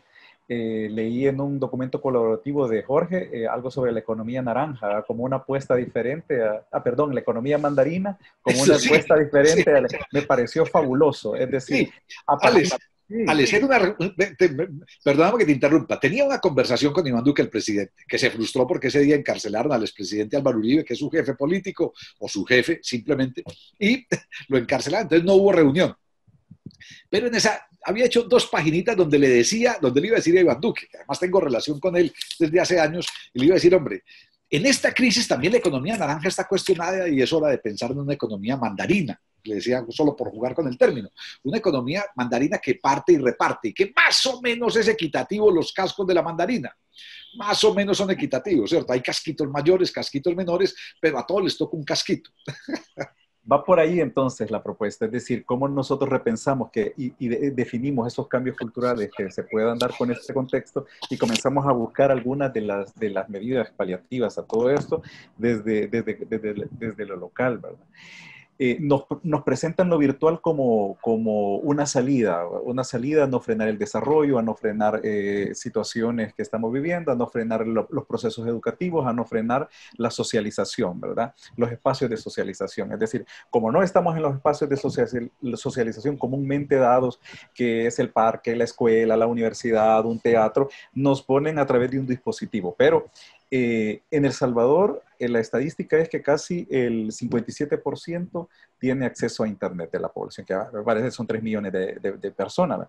Sin embargo, solo el 12% tiene acceso a calidad y 24 horas. Es decir, es que el que paga un servicio de, que no sé, más megas de lo que tenga y puede tener acceso en su computadora, en su móvil. Pero y ese otro resto, ese otro resto de personas que quedan, de usuarios, que podríamos decir que pueden aprovechar todas estas dinámicas nuevas que nos está presentando el COVID en relación a la cultura y el desarrollo, eh, tienen acceso de mala calidad o deben pagarlo eh, aún así con el mismo presupuesto que tienen. Es decir, eso, eso del Internet gratis eh, no, no, existe en algunos lugares y sobre todo nosotros que trabajamos en territorios, territorios alejados, ya decía Jorge, se les ha pagado para que estén en clases, es cierto, se puede hacer, es decir, se puede hacer esa vía, repartir los gajos de la economía naranja y darle a, un, eh, eh, digamos, darle a, cada sector su, su porción equitativa.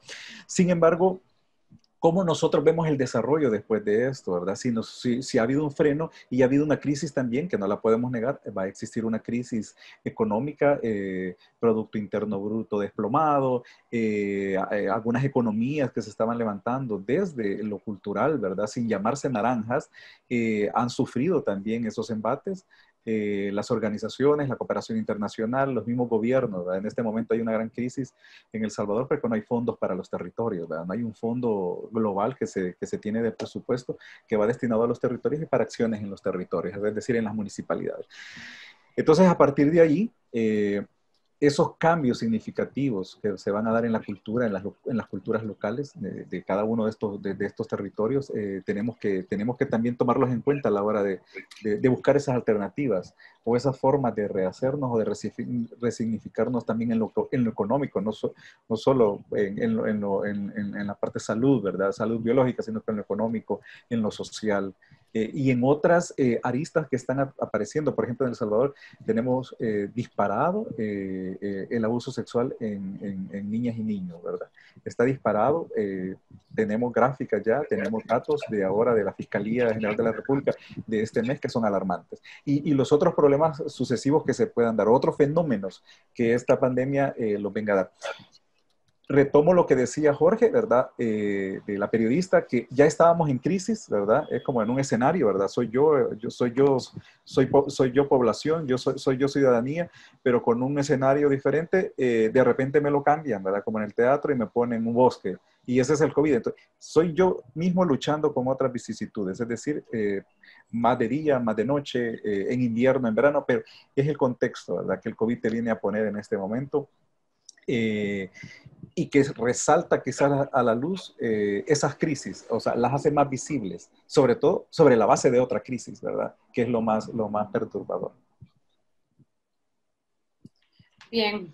Eh, María, no sé si podés eh, o querés comentarnos algunas, o sea, pensar un poco en cómo afrontar entonces esta, esta coyuntura, cómo afrontar eso que estamos viviendo. Sí, yo em, al pensar un poco en la, pregunta de cómo afrontar esta coyuntura, se me viene a la cabeza también, que estaba aquí copiando ahora el, link, a ver si lo puedo eh, poner por aquí, una publicación pensando un poco en lo rural que se acaba de publicar. Yo creo que pinchando ese link me parece que ya podéis ver lo que es la publicación y pasar las páginas de manera digital. Em, es una publicación que se llama eh, Pensar y hacer desde el medio rural prácticas culturales en contexto y la acaba de editar eh, Cultura y Ciudadanía, también del Ministerio de Cultura.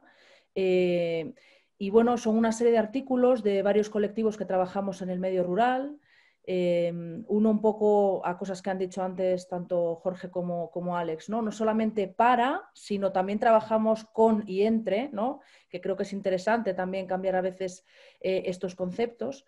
Y, seguramente que eh, si ojeáis en el libro hay artículos de todo tipo, también se habla de financiación, de problemas de financiación, eh, de cómo combinar eh, las iniciativas público-privadas, de cómo generar también redes de apoyo desde lo pequeño, desde lo rural. para mí responder a la pregunta sobre eh, cómo hacer frente a esta situación. Lógicamente, eh, bueno, mi, contexto y mi escenario es desde lo rural, entonces eh, también quizás mi visión esté un poco sesgada por ello, pero creo que en España ahora mismo se está mirando mucho hacia lo rural, hacia el medio rural, como escenario de futuro después de la pandemia. Es decir, para la cultura ahora hablo específicamente.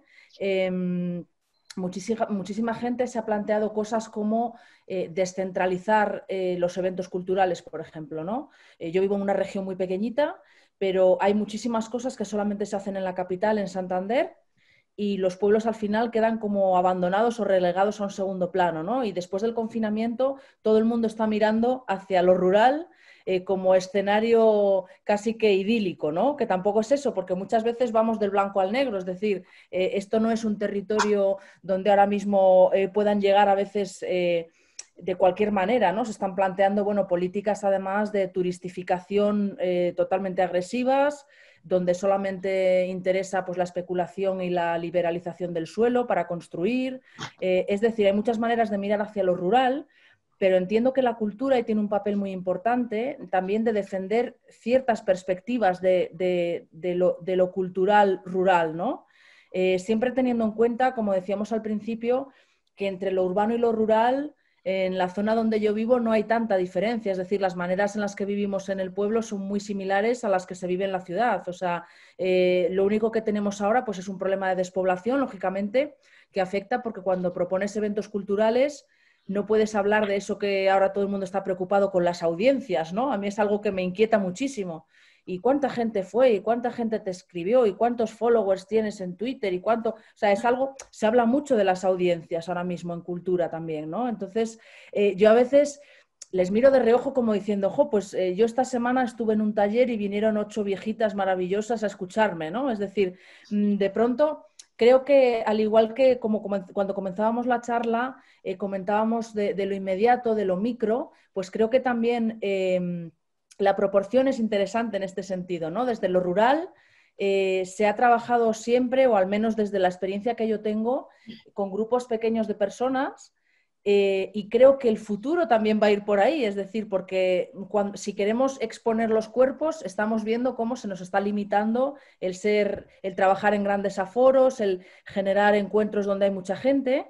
Y para las personas que creemos que eh, lo digital, si no está vinculado a una soberanía tecnológica y emancipatoria no puede ser la solución a todo. Es decir, necesitamos seguir, eh, necesitamos, eh, seguir viéndonos, seguir encontrándonos eh, físicamente, ¿no? O sea, aunque, aunque lo digital nos pueda unir, como es ahora, que es una maravilla, pero no puede ser la solución a todo, sobre todo en espacios pequeños donde tenemos las posibilidades de hacerlo de otra manera. Entonces, creo que las resistencias a esta incertidumbre y a este tiempo incierto pasan eh, por relocalizar y por volver a mirar lo pequeño, ¿no? Y sobre todo con otra perspectiva, con más atención, con más calma, sin tanta hiperactividad eh, de, tener que producir para las audiencias, sino quizás eh, tomando aliento y diciendo, bueno, vamos a, vamos a reflexionar un poco sobre lo que tenemos delante, ¿no?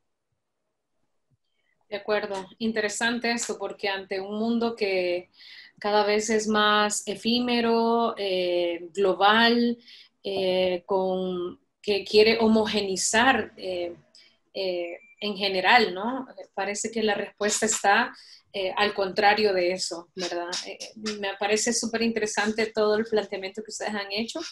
Y en este momento vamos a ver si algunos de los compañeros o compañeras que nos han estado escuchando tiene alguna pregunta o algún comentario que quisiera hacerle a María, a Alex, a Jorge, o bueno, a mí también, ¿no? sos parte, sos parte, sos panelista, panelista y moderadora. sí.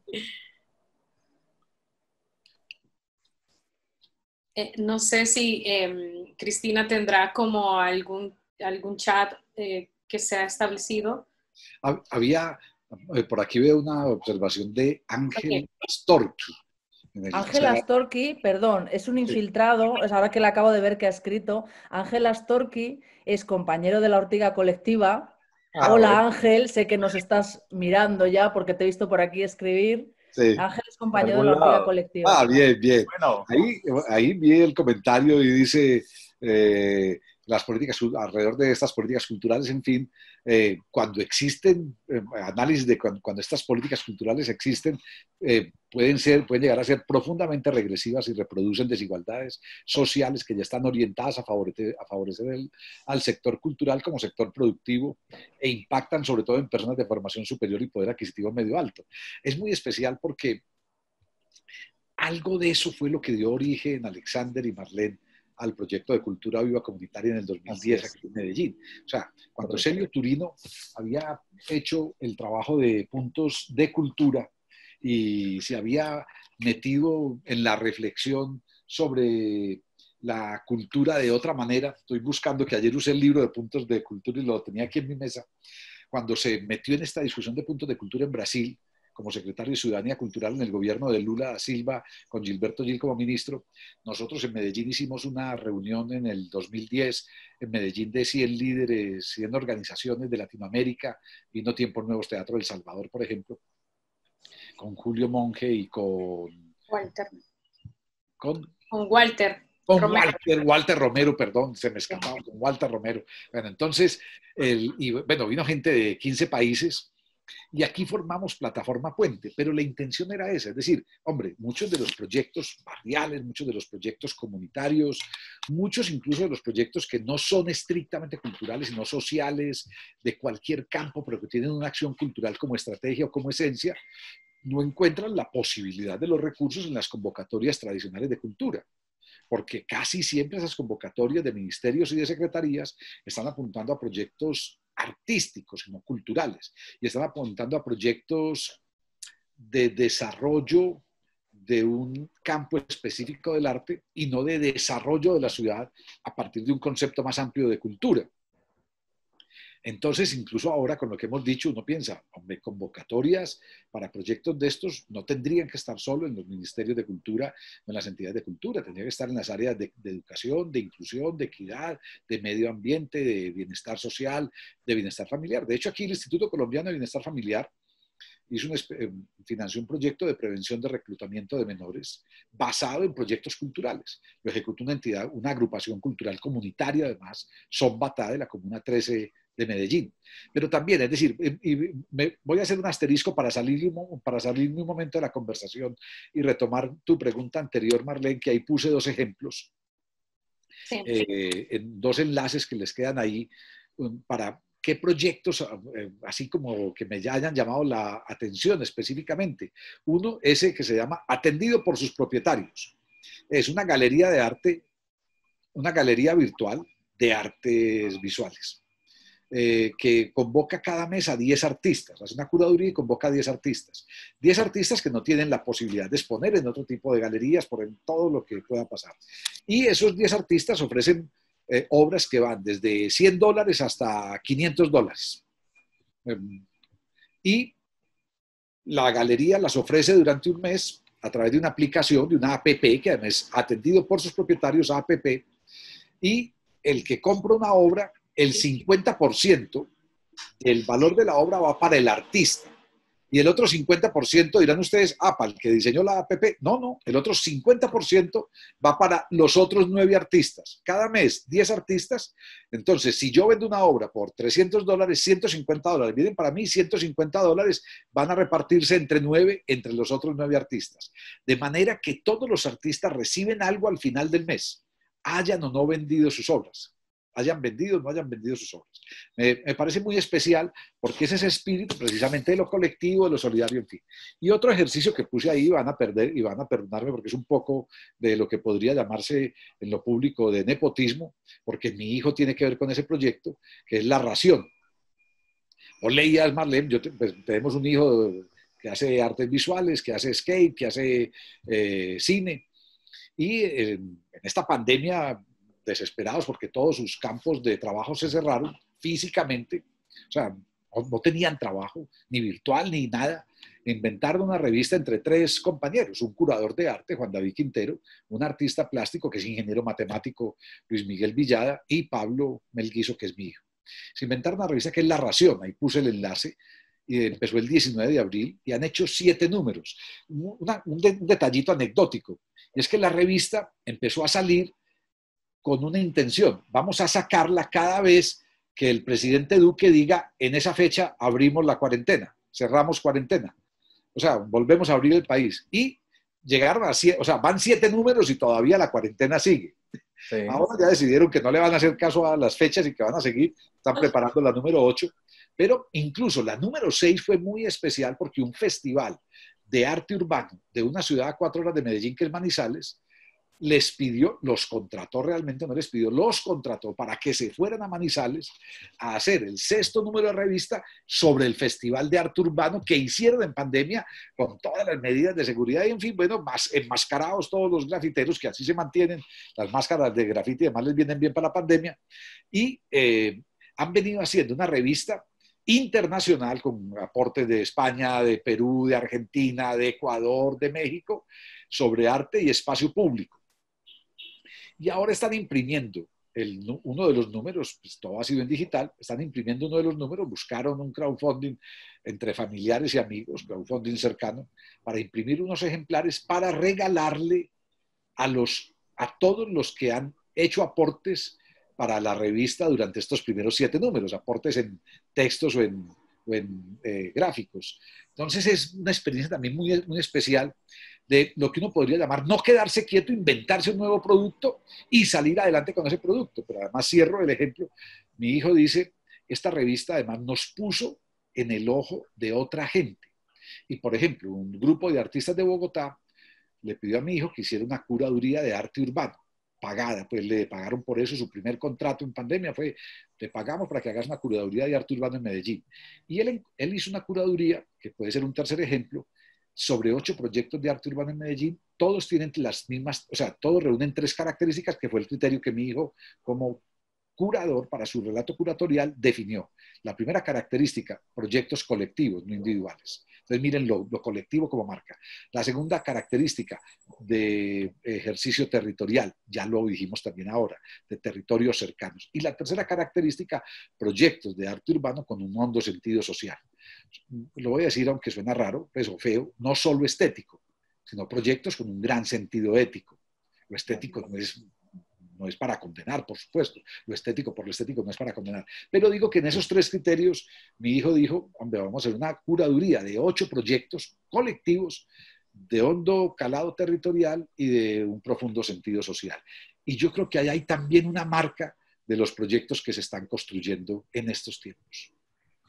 Claro, creo, qué bueno que nos dices eso, Jorge, porque nos permite ver como esas otras posibilidades, ¿no? De, o sea, también eh, el virus es una oportunidad para, para, construir otras maneras, ¿verdad? De decir, voy a leer aquí un, un, mensaje que nos ha llegado, dice, siguiendo lo que comentan María y Jorge, me acuerdo de Nicolás Barbieri, que dice que las políticas culturales en Europa, cuando existen, son profundamente regresivas y reproducen desigualdades sociales ya que están orientadas a favorecer al sector cultural como sector productivo e impactan sobre todo en personas de formación superior y poder adquisitivo medio alto. No se centran en el derecho de la participación de los ciudadanos en la vida cultural de la ciudad, ni mucho menos que sean protagonistas de ello. Por eso, Nicolás defiende como antídoto de la desigualdad que se establezcan políticas público-comunitarias.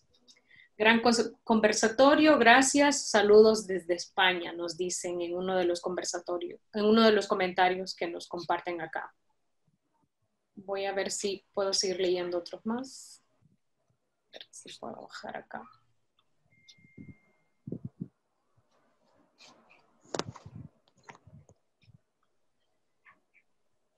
Bueno, eh, tenemos acá, eh, Cristina nos ha compartido algunos eh, textos sobre Celio Turino, todas las... Em, ah, bueno, hay una pregunta de, de Carlos Eduardo Colorado Hernández para María. ¿Cómo se puede abordar la pandemia cuarentena versus las iniciativas culturales desde la sociología?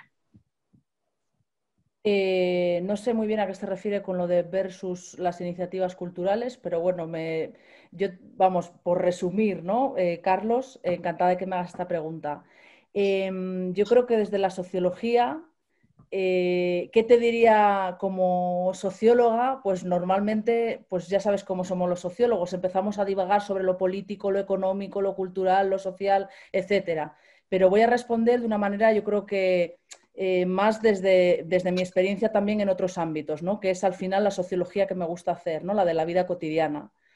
Em, creo que la sociología puede aportar a todo este debate sobre la pandemia, la cuarentena y los proyectos culturales o cómo estamos buscando respuestas en la cultura, ¿no? a, toda esta incertidumbre, a todo este contexto eh, nuevo de cambio de paradigmas también. Eh, creo que la sociología, o al menos una sociología crítica de la vida cotidiana, no se puede olvidar de las crisis de un sistema capitalista, que no hemos hablado hoy aquí, pero yo creo que es necesario también ¿no? de ponerle nombre a las cosas, las crisis de un sistema capitalista, las crisis de un sistema profundamente patriarcal que genera desigualdades de género, las crisis de un sistema que está continuamente estableciendo dicotomías que vienen de una época moderna eh, que ya no nos funciona, que ya no nos ayuda a descifrar, a entender el mundo, a entender la vida. Creo que es interesante ir a una sociología eh, que recupere los procesos, que recupere las fronteras, mm, que recupere los, los, tonos abigarrados, es decir, que recupere una complejidad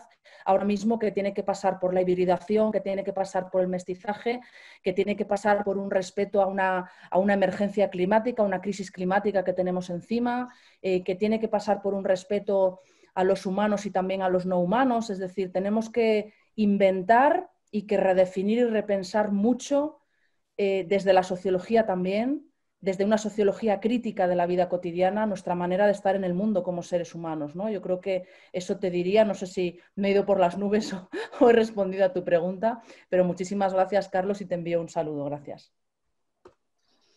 Estás apoyar a María, Marlene, eh, en, cuanto a lo, cotidiano de, enfrentar estas crisis.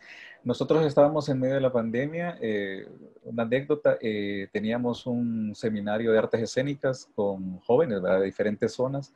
Eh, aquí en la capital era presencial y la, la pandemia lo, lo, frena, ¿verdad? Lo corta porque las medidas impuestas es que no podían tener, tener reuniones y los primeros afectados fueron los, los, talleres y, y, y, las cuestiones de capacitación por bioseguridad.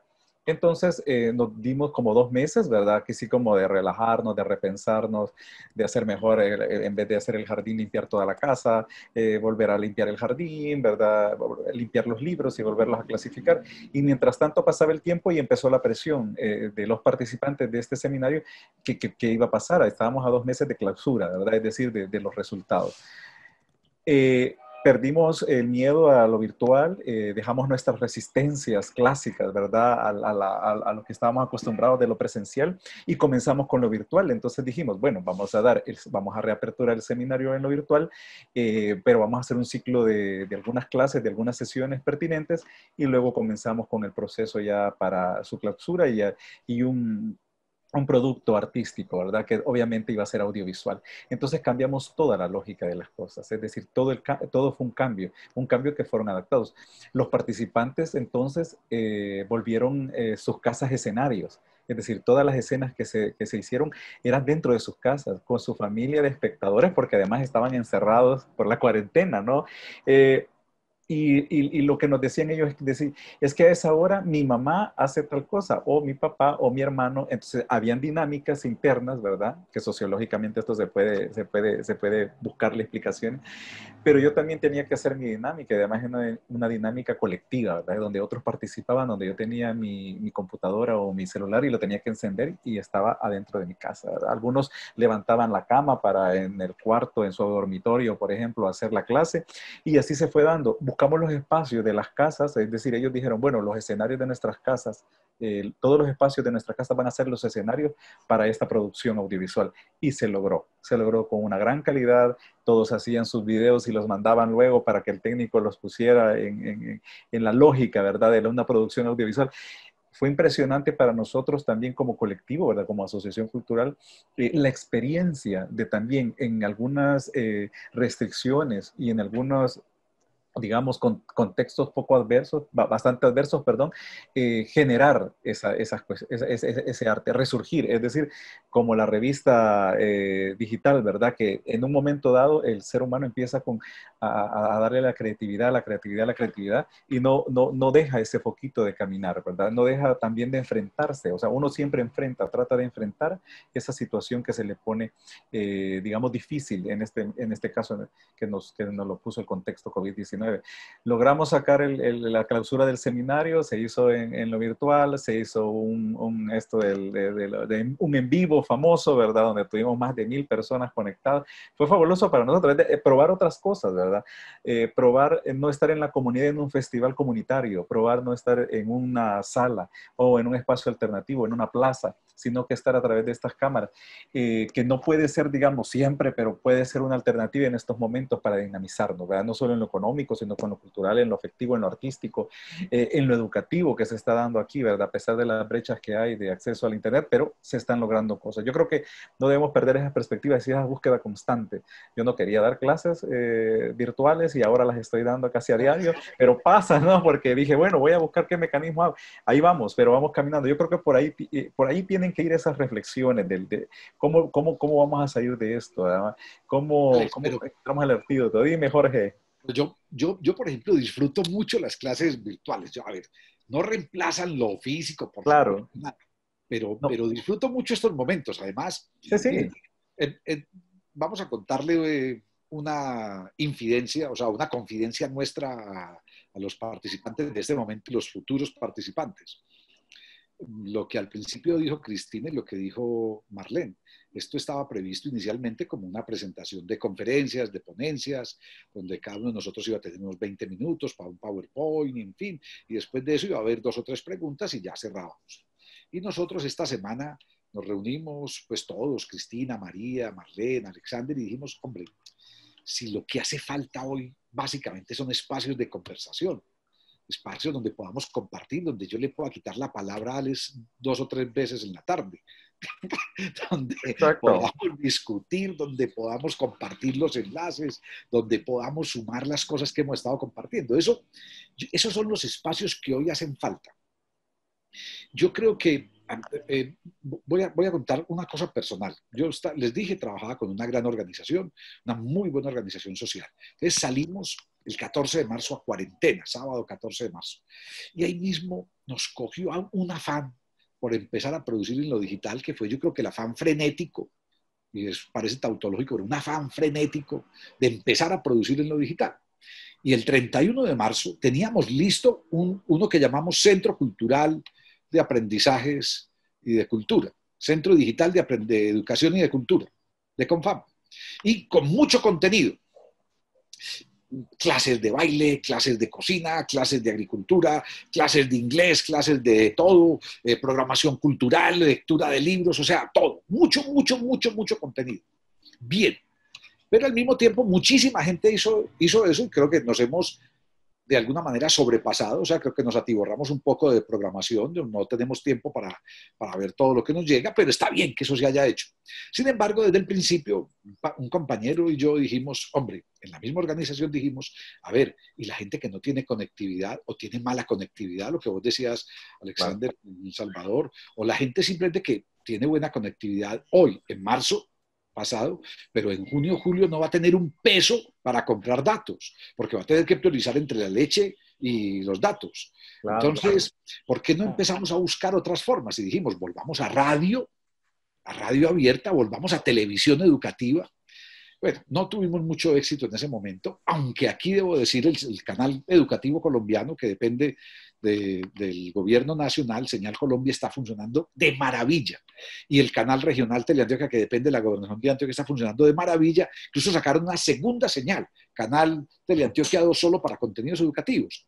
Pero bueno, las experiencias de radio comunitaria. Y yo decía, cierro ahí el comentario, yo decía en ese momento, mire, y esto fue en marzo, llevábamos 15 días de encierro.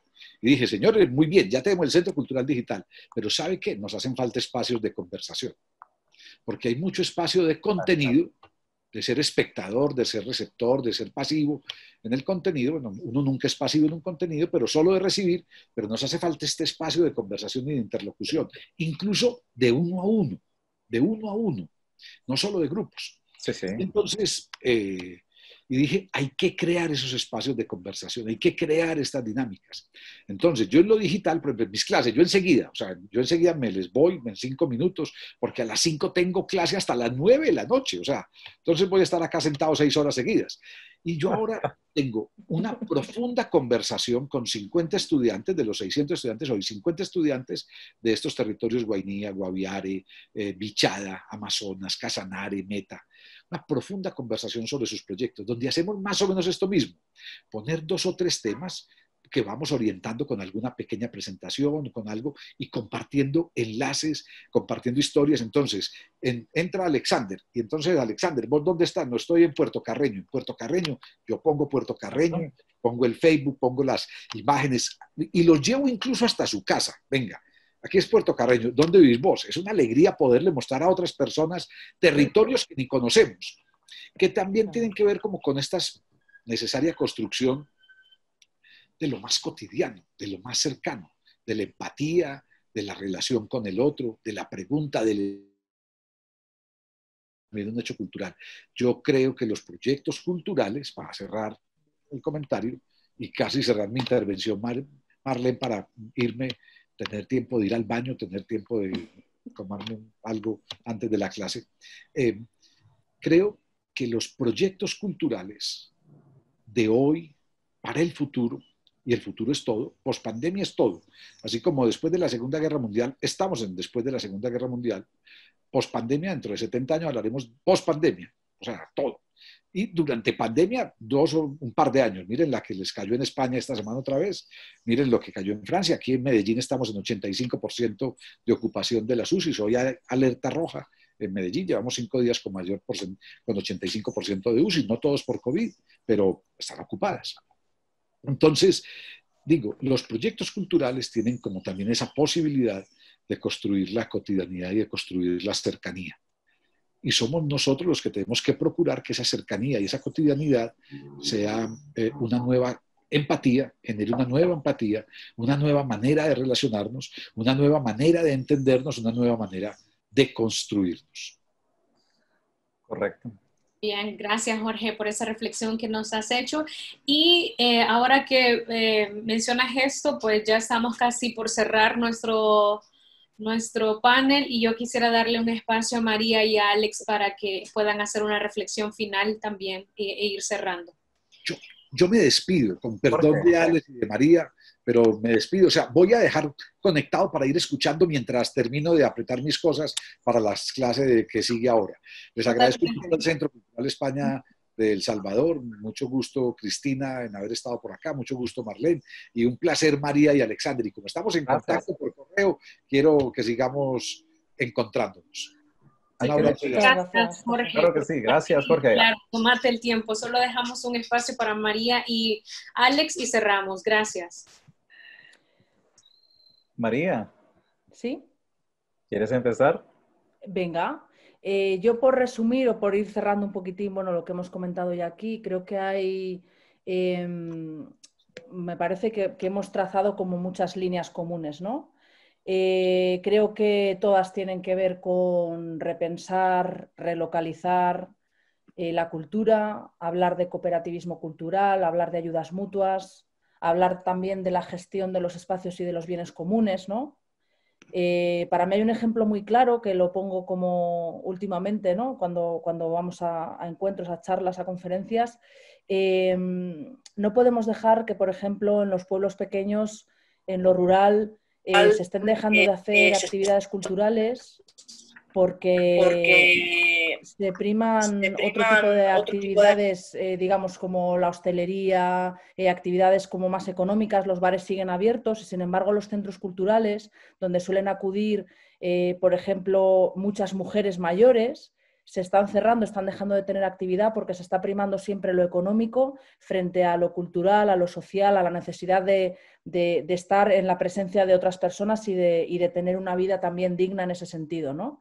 Creo que las luchas van a ir por ahí, creo que las luchas y las resistencias van a ir por defender lo cultural, no solamente como industria, como hablábamos al principio, no solamente como sector, sino como manera de estar en el mundo, como vínculo, eh, como manera de, tejer comunidad, de resistir también a un sistema que es profundamente injusto con las personas, que es profundamente injusto eh, con los ecosistemas. Es decir, creo que tenemos que tomar partido y hacerlo de forma como muy determinante. ¿no? Cuando hablamos de ecosistema cultural, hablar en el sentido amplio del término, eh, dejar de mirarnos el ombligo, sobre todo en Europa, dejar de mirar eh, como si fuéramos siempre la palabra instituyente, como si siempre fuéramos los que tenemos la razón o los que tenemos que ir por delante o los que tenemos que innovar, cuando yo creo que tenemos que mirar mucho hacia los lados, ¿no? Es decir, eh, creo que tenemos que trabajar más en entre, con los demás y no solamente desde arriba hacia abajo o para los demás. ¿no? Yo creo que la cultura tiene un papel también transgresor y tiene un papel eh, también de, defensa de las libertades y de los derechos de las personas. ¿no? Todos tenemos derecho a acceder a la cultura, independientemente de nuestro origen, de nuestra condición, de nuestro género. Es decir, yo creo que todas estas cosas que parecen a veces muy sencillas y muy universales no lo son y hay que seguir reivindicándolas. ¿no? Y ya para cerrar, bueno, pues agradecer muchísimo eh, pues a los compañeros, ¿no? a Alex, a Jorge, a Marlene, a María, a Cristina. Muchísimas gracias, ha sido un placer participar. Eh, gracias también a las personas que nos han acompañado, ¿no? que nos han estado escuchando. Eh, yo ya estoy un poco groggy, ¿no? porque aquí casi son las 12, yo suelo madrugar bastante. Espero que no se haya notado mucho y bueno, también decirle a todo el mundo que yo soy eh, totalmente accesible si alguien quiere comentar alguna cosa de lo que he estado hablando hoy aquí, conocer más sobre el proyecto, la revista, en fin, incluso de otros proyectos, ¿no? Eh, vamos, estoy en Facebook, Cristina seguro que puede compartir mi correo electrónico, en fin, que no tiene por qué quedar todo en, en, esta charla, ¿no? Muchísimas gracias y un abrazo muy fuerte para todos y todas. Gracias. Bien, este, Alex, no sé si quieres hacer un último comentario para ir cerrando.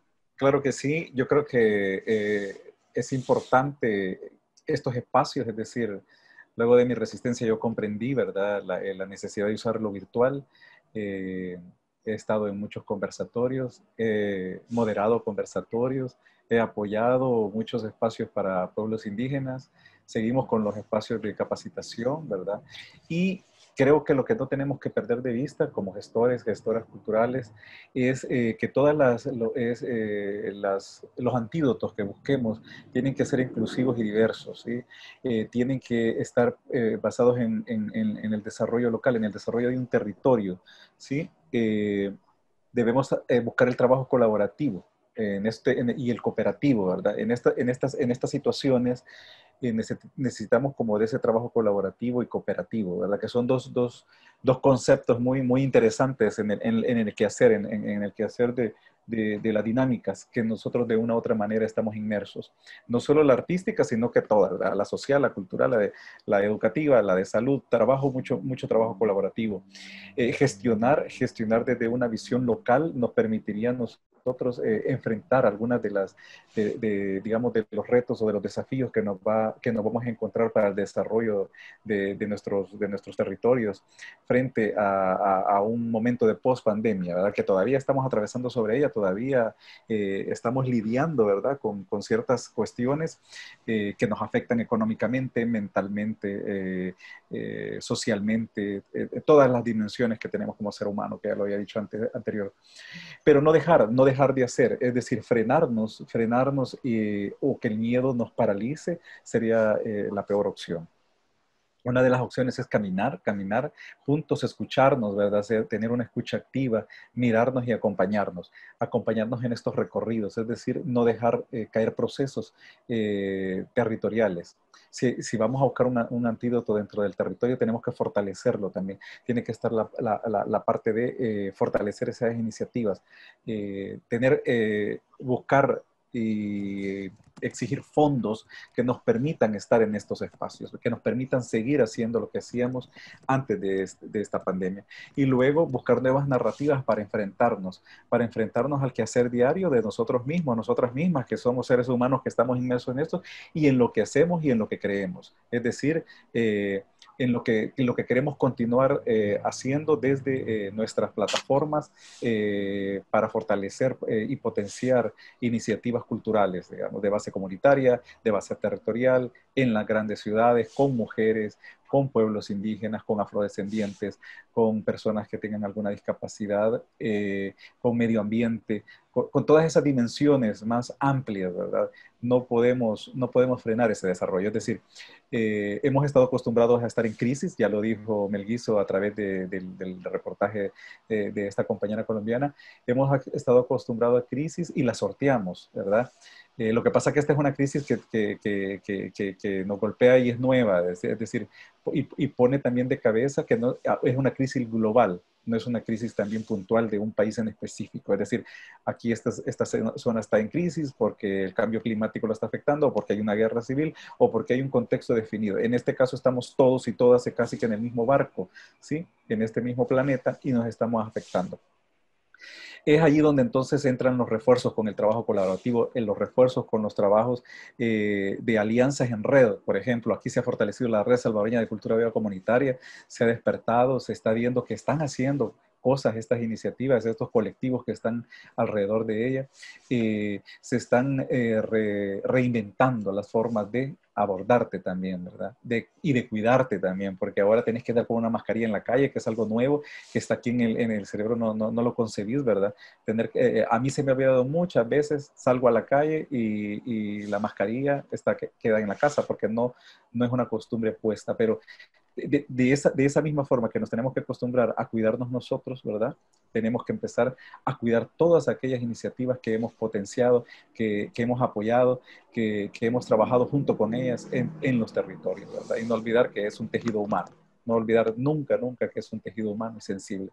Muchas gracias, eh, Marlene eh, a Cristina también, ¿verdad? Cristina Algarra, que nos invitó a este espacio. Muy contento de no haber dado una clase, ¿verdad? Sino que conversar desde mi ser, desde mis propias perspectivas, eh, conocer a María Montesinos y estarnos eh, con Jorge, ¿verdad? Es decir, tres países en un mismo momento con un uso horario diferente, pero con, con un mismo pensamiento y un corazón y un sentir hacia esto que nosotros queremos y, que estamos fomentando todos los días a pesar de, este, de esta pandemia COVID-19 que, que nos tiene en confinamiento. Marlene, un abrazote y que estés mejor. Gracias. Bueno, eh, no me resta más que agradecer a todos los que nos han estado escuchando en esta tarde.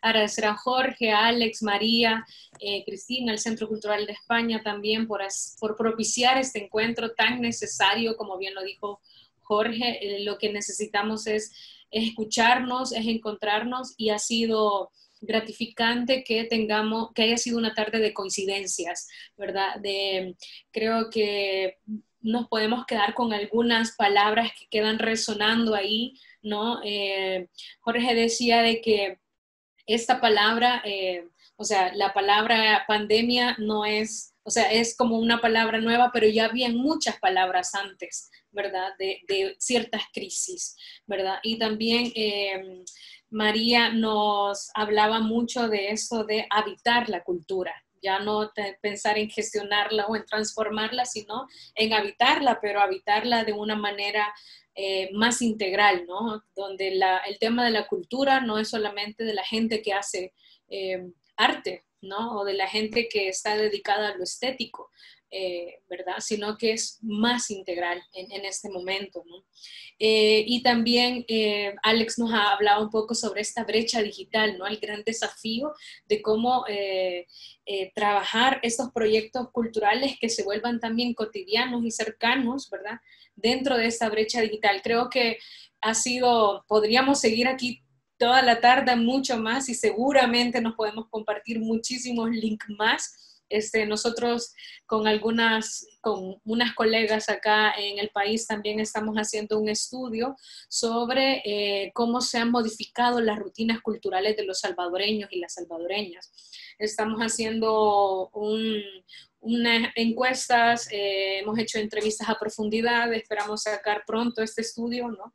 de cómo se han modificado las rutinas culturales para nosotros a partir de esta pandemia, ¿no? que es algo que también está por ahí y seguramente nos podríamos seguir compartiendo muchísimas cosas más. Yo agradecerles completamente. Eh, ha sido para mí un aliciente también que estoy ahora precisamente padeciendo el virus, ¿verdad? Y ha sido eh, muy gratificante. Eh, gracias Cristina por el espacio, gracias al Centro Cultural Español. No sé, Cristina, si quieres decir algunas palabras de cierre en este momento y pues eso sería todo de nuestra parte.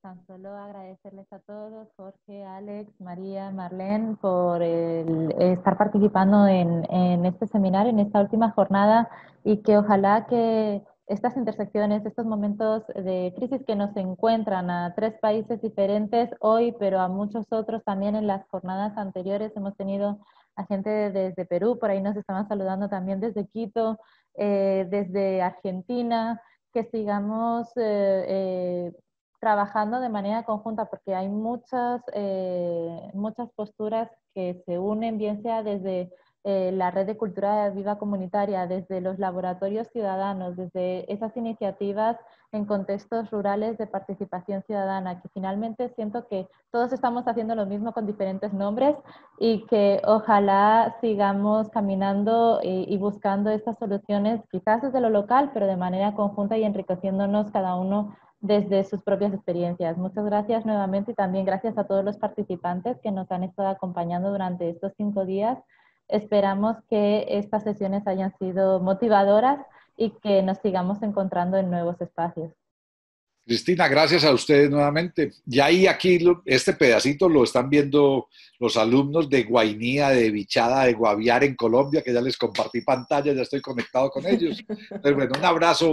Estas bueno. centroamericanas y sudamericanas y ibéricas tendrán que dar muy buenos resultados. Todo va a quedar grabado, así que les compartimos todas las conversaciones. Esperen en una semana o en un par de semanas que puedan eh, compartir también entre todas sus redes estas, estas experiencias. Pero además, María, ya les he compartido algunos de los enlaces. El enlace de lo rural se lo acabo de compartir a este grupo. Entonces, bueno, ya estamos metidos en esas conversaciones múltiples. Un encanto, bueno. Eh, mujeres y hombres, muchas gracias. Feliz tarde. Muchísimas gracias. de Guaidía y Bichada. Un abrazo. Chao, adiós. Y meta. Bueno, chao, adiós. Gracias.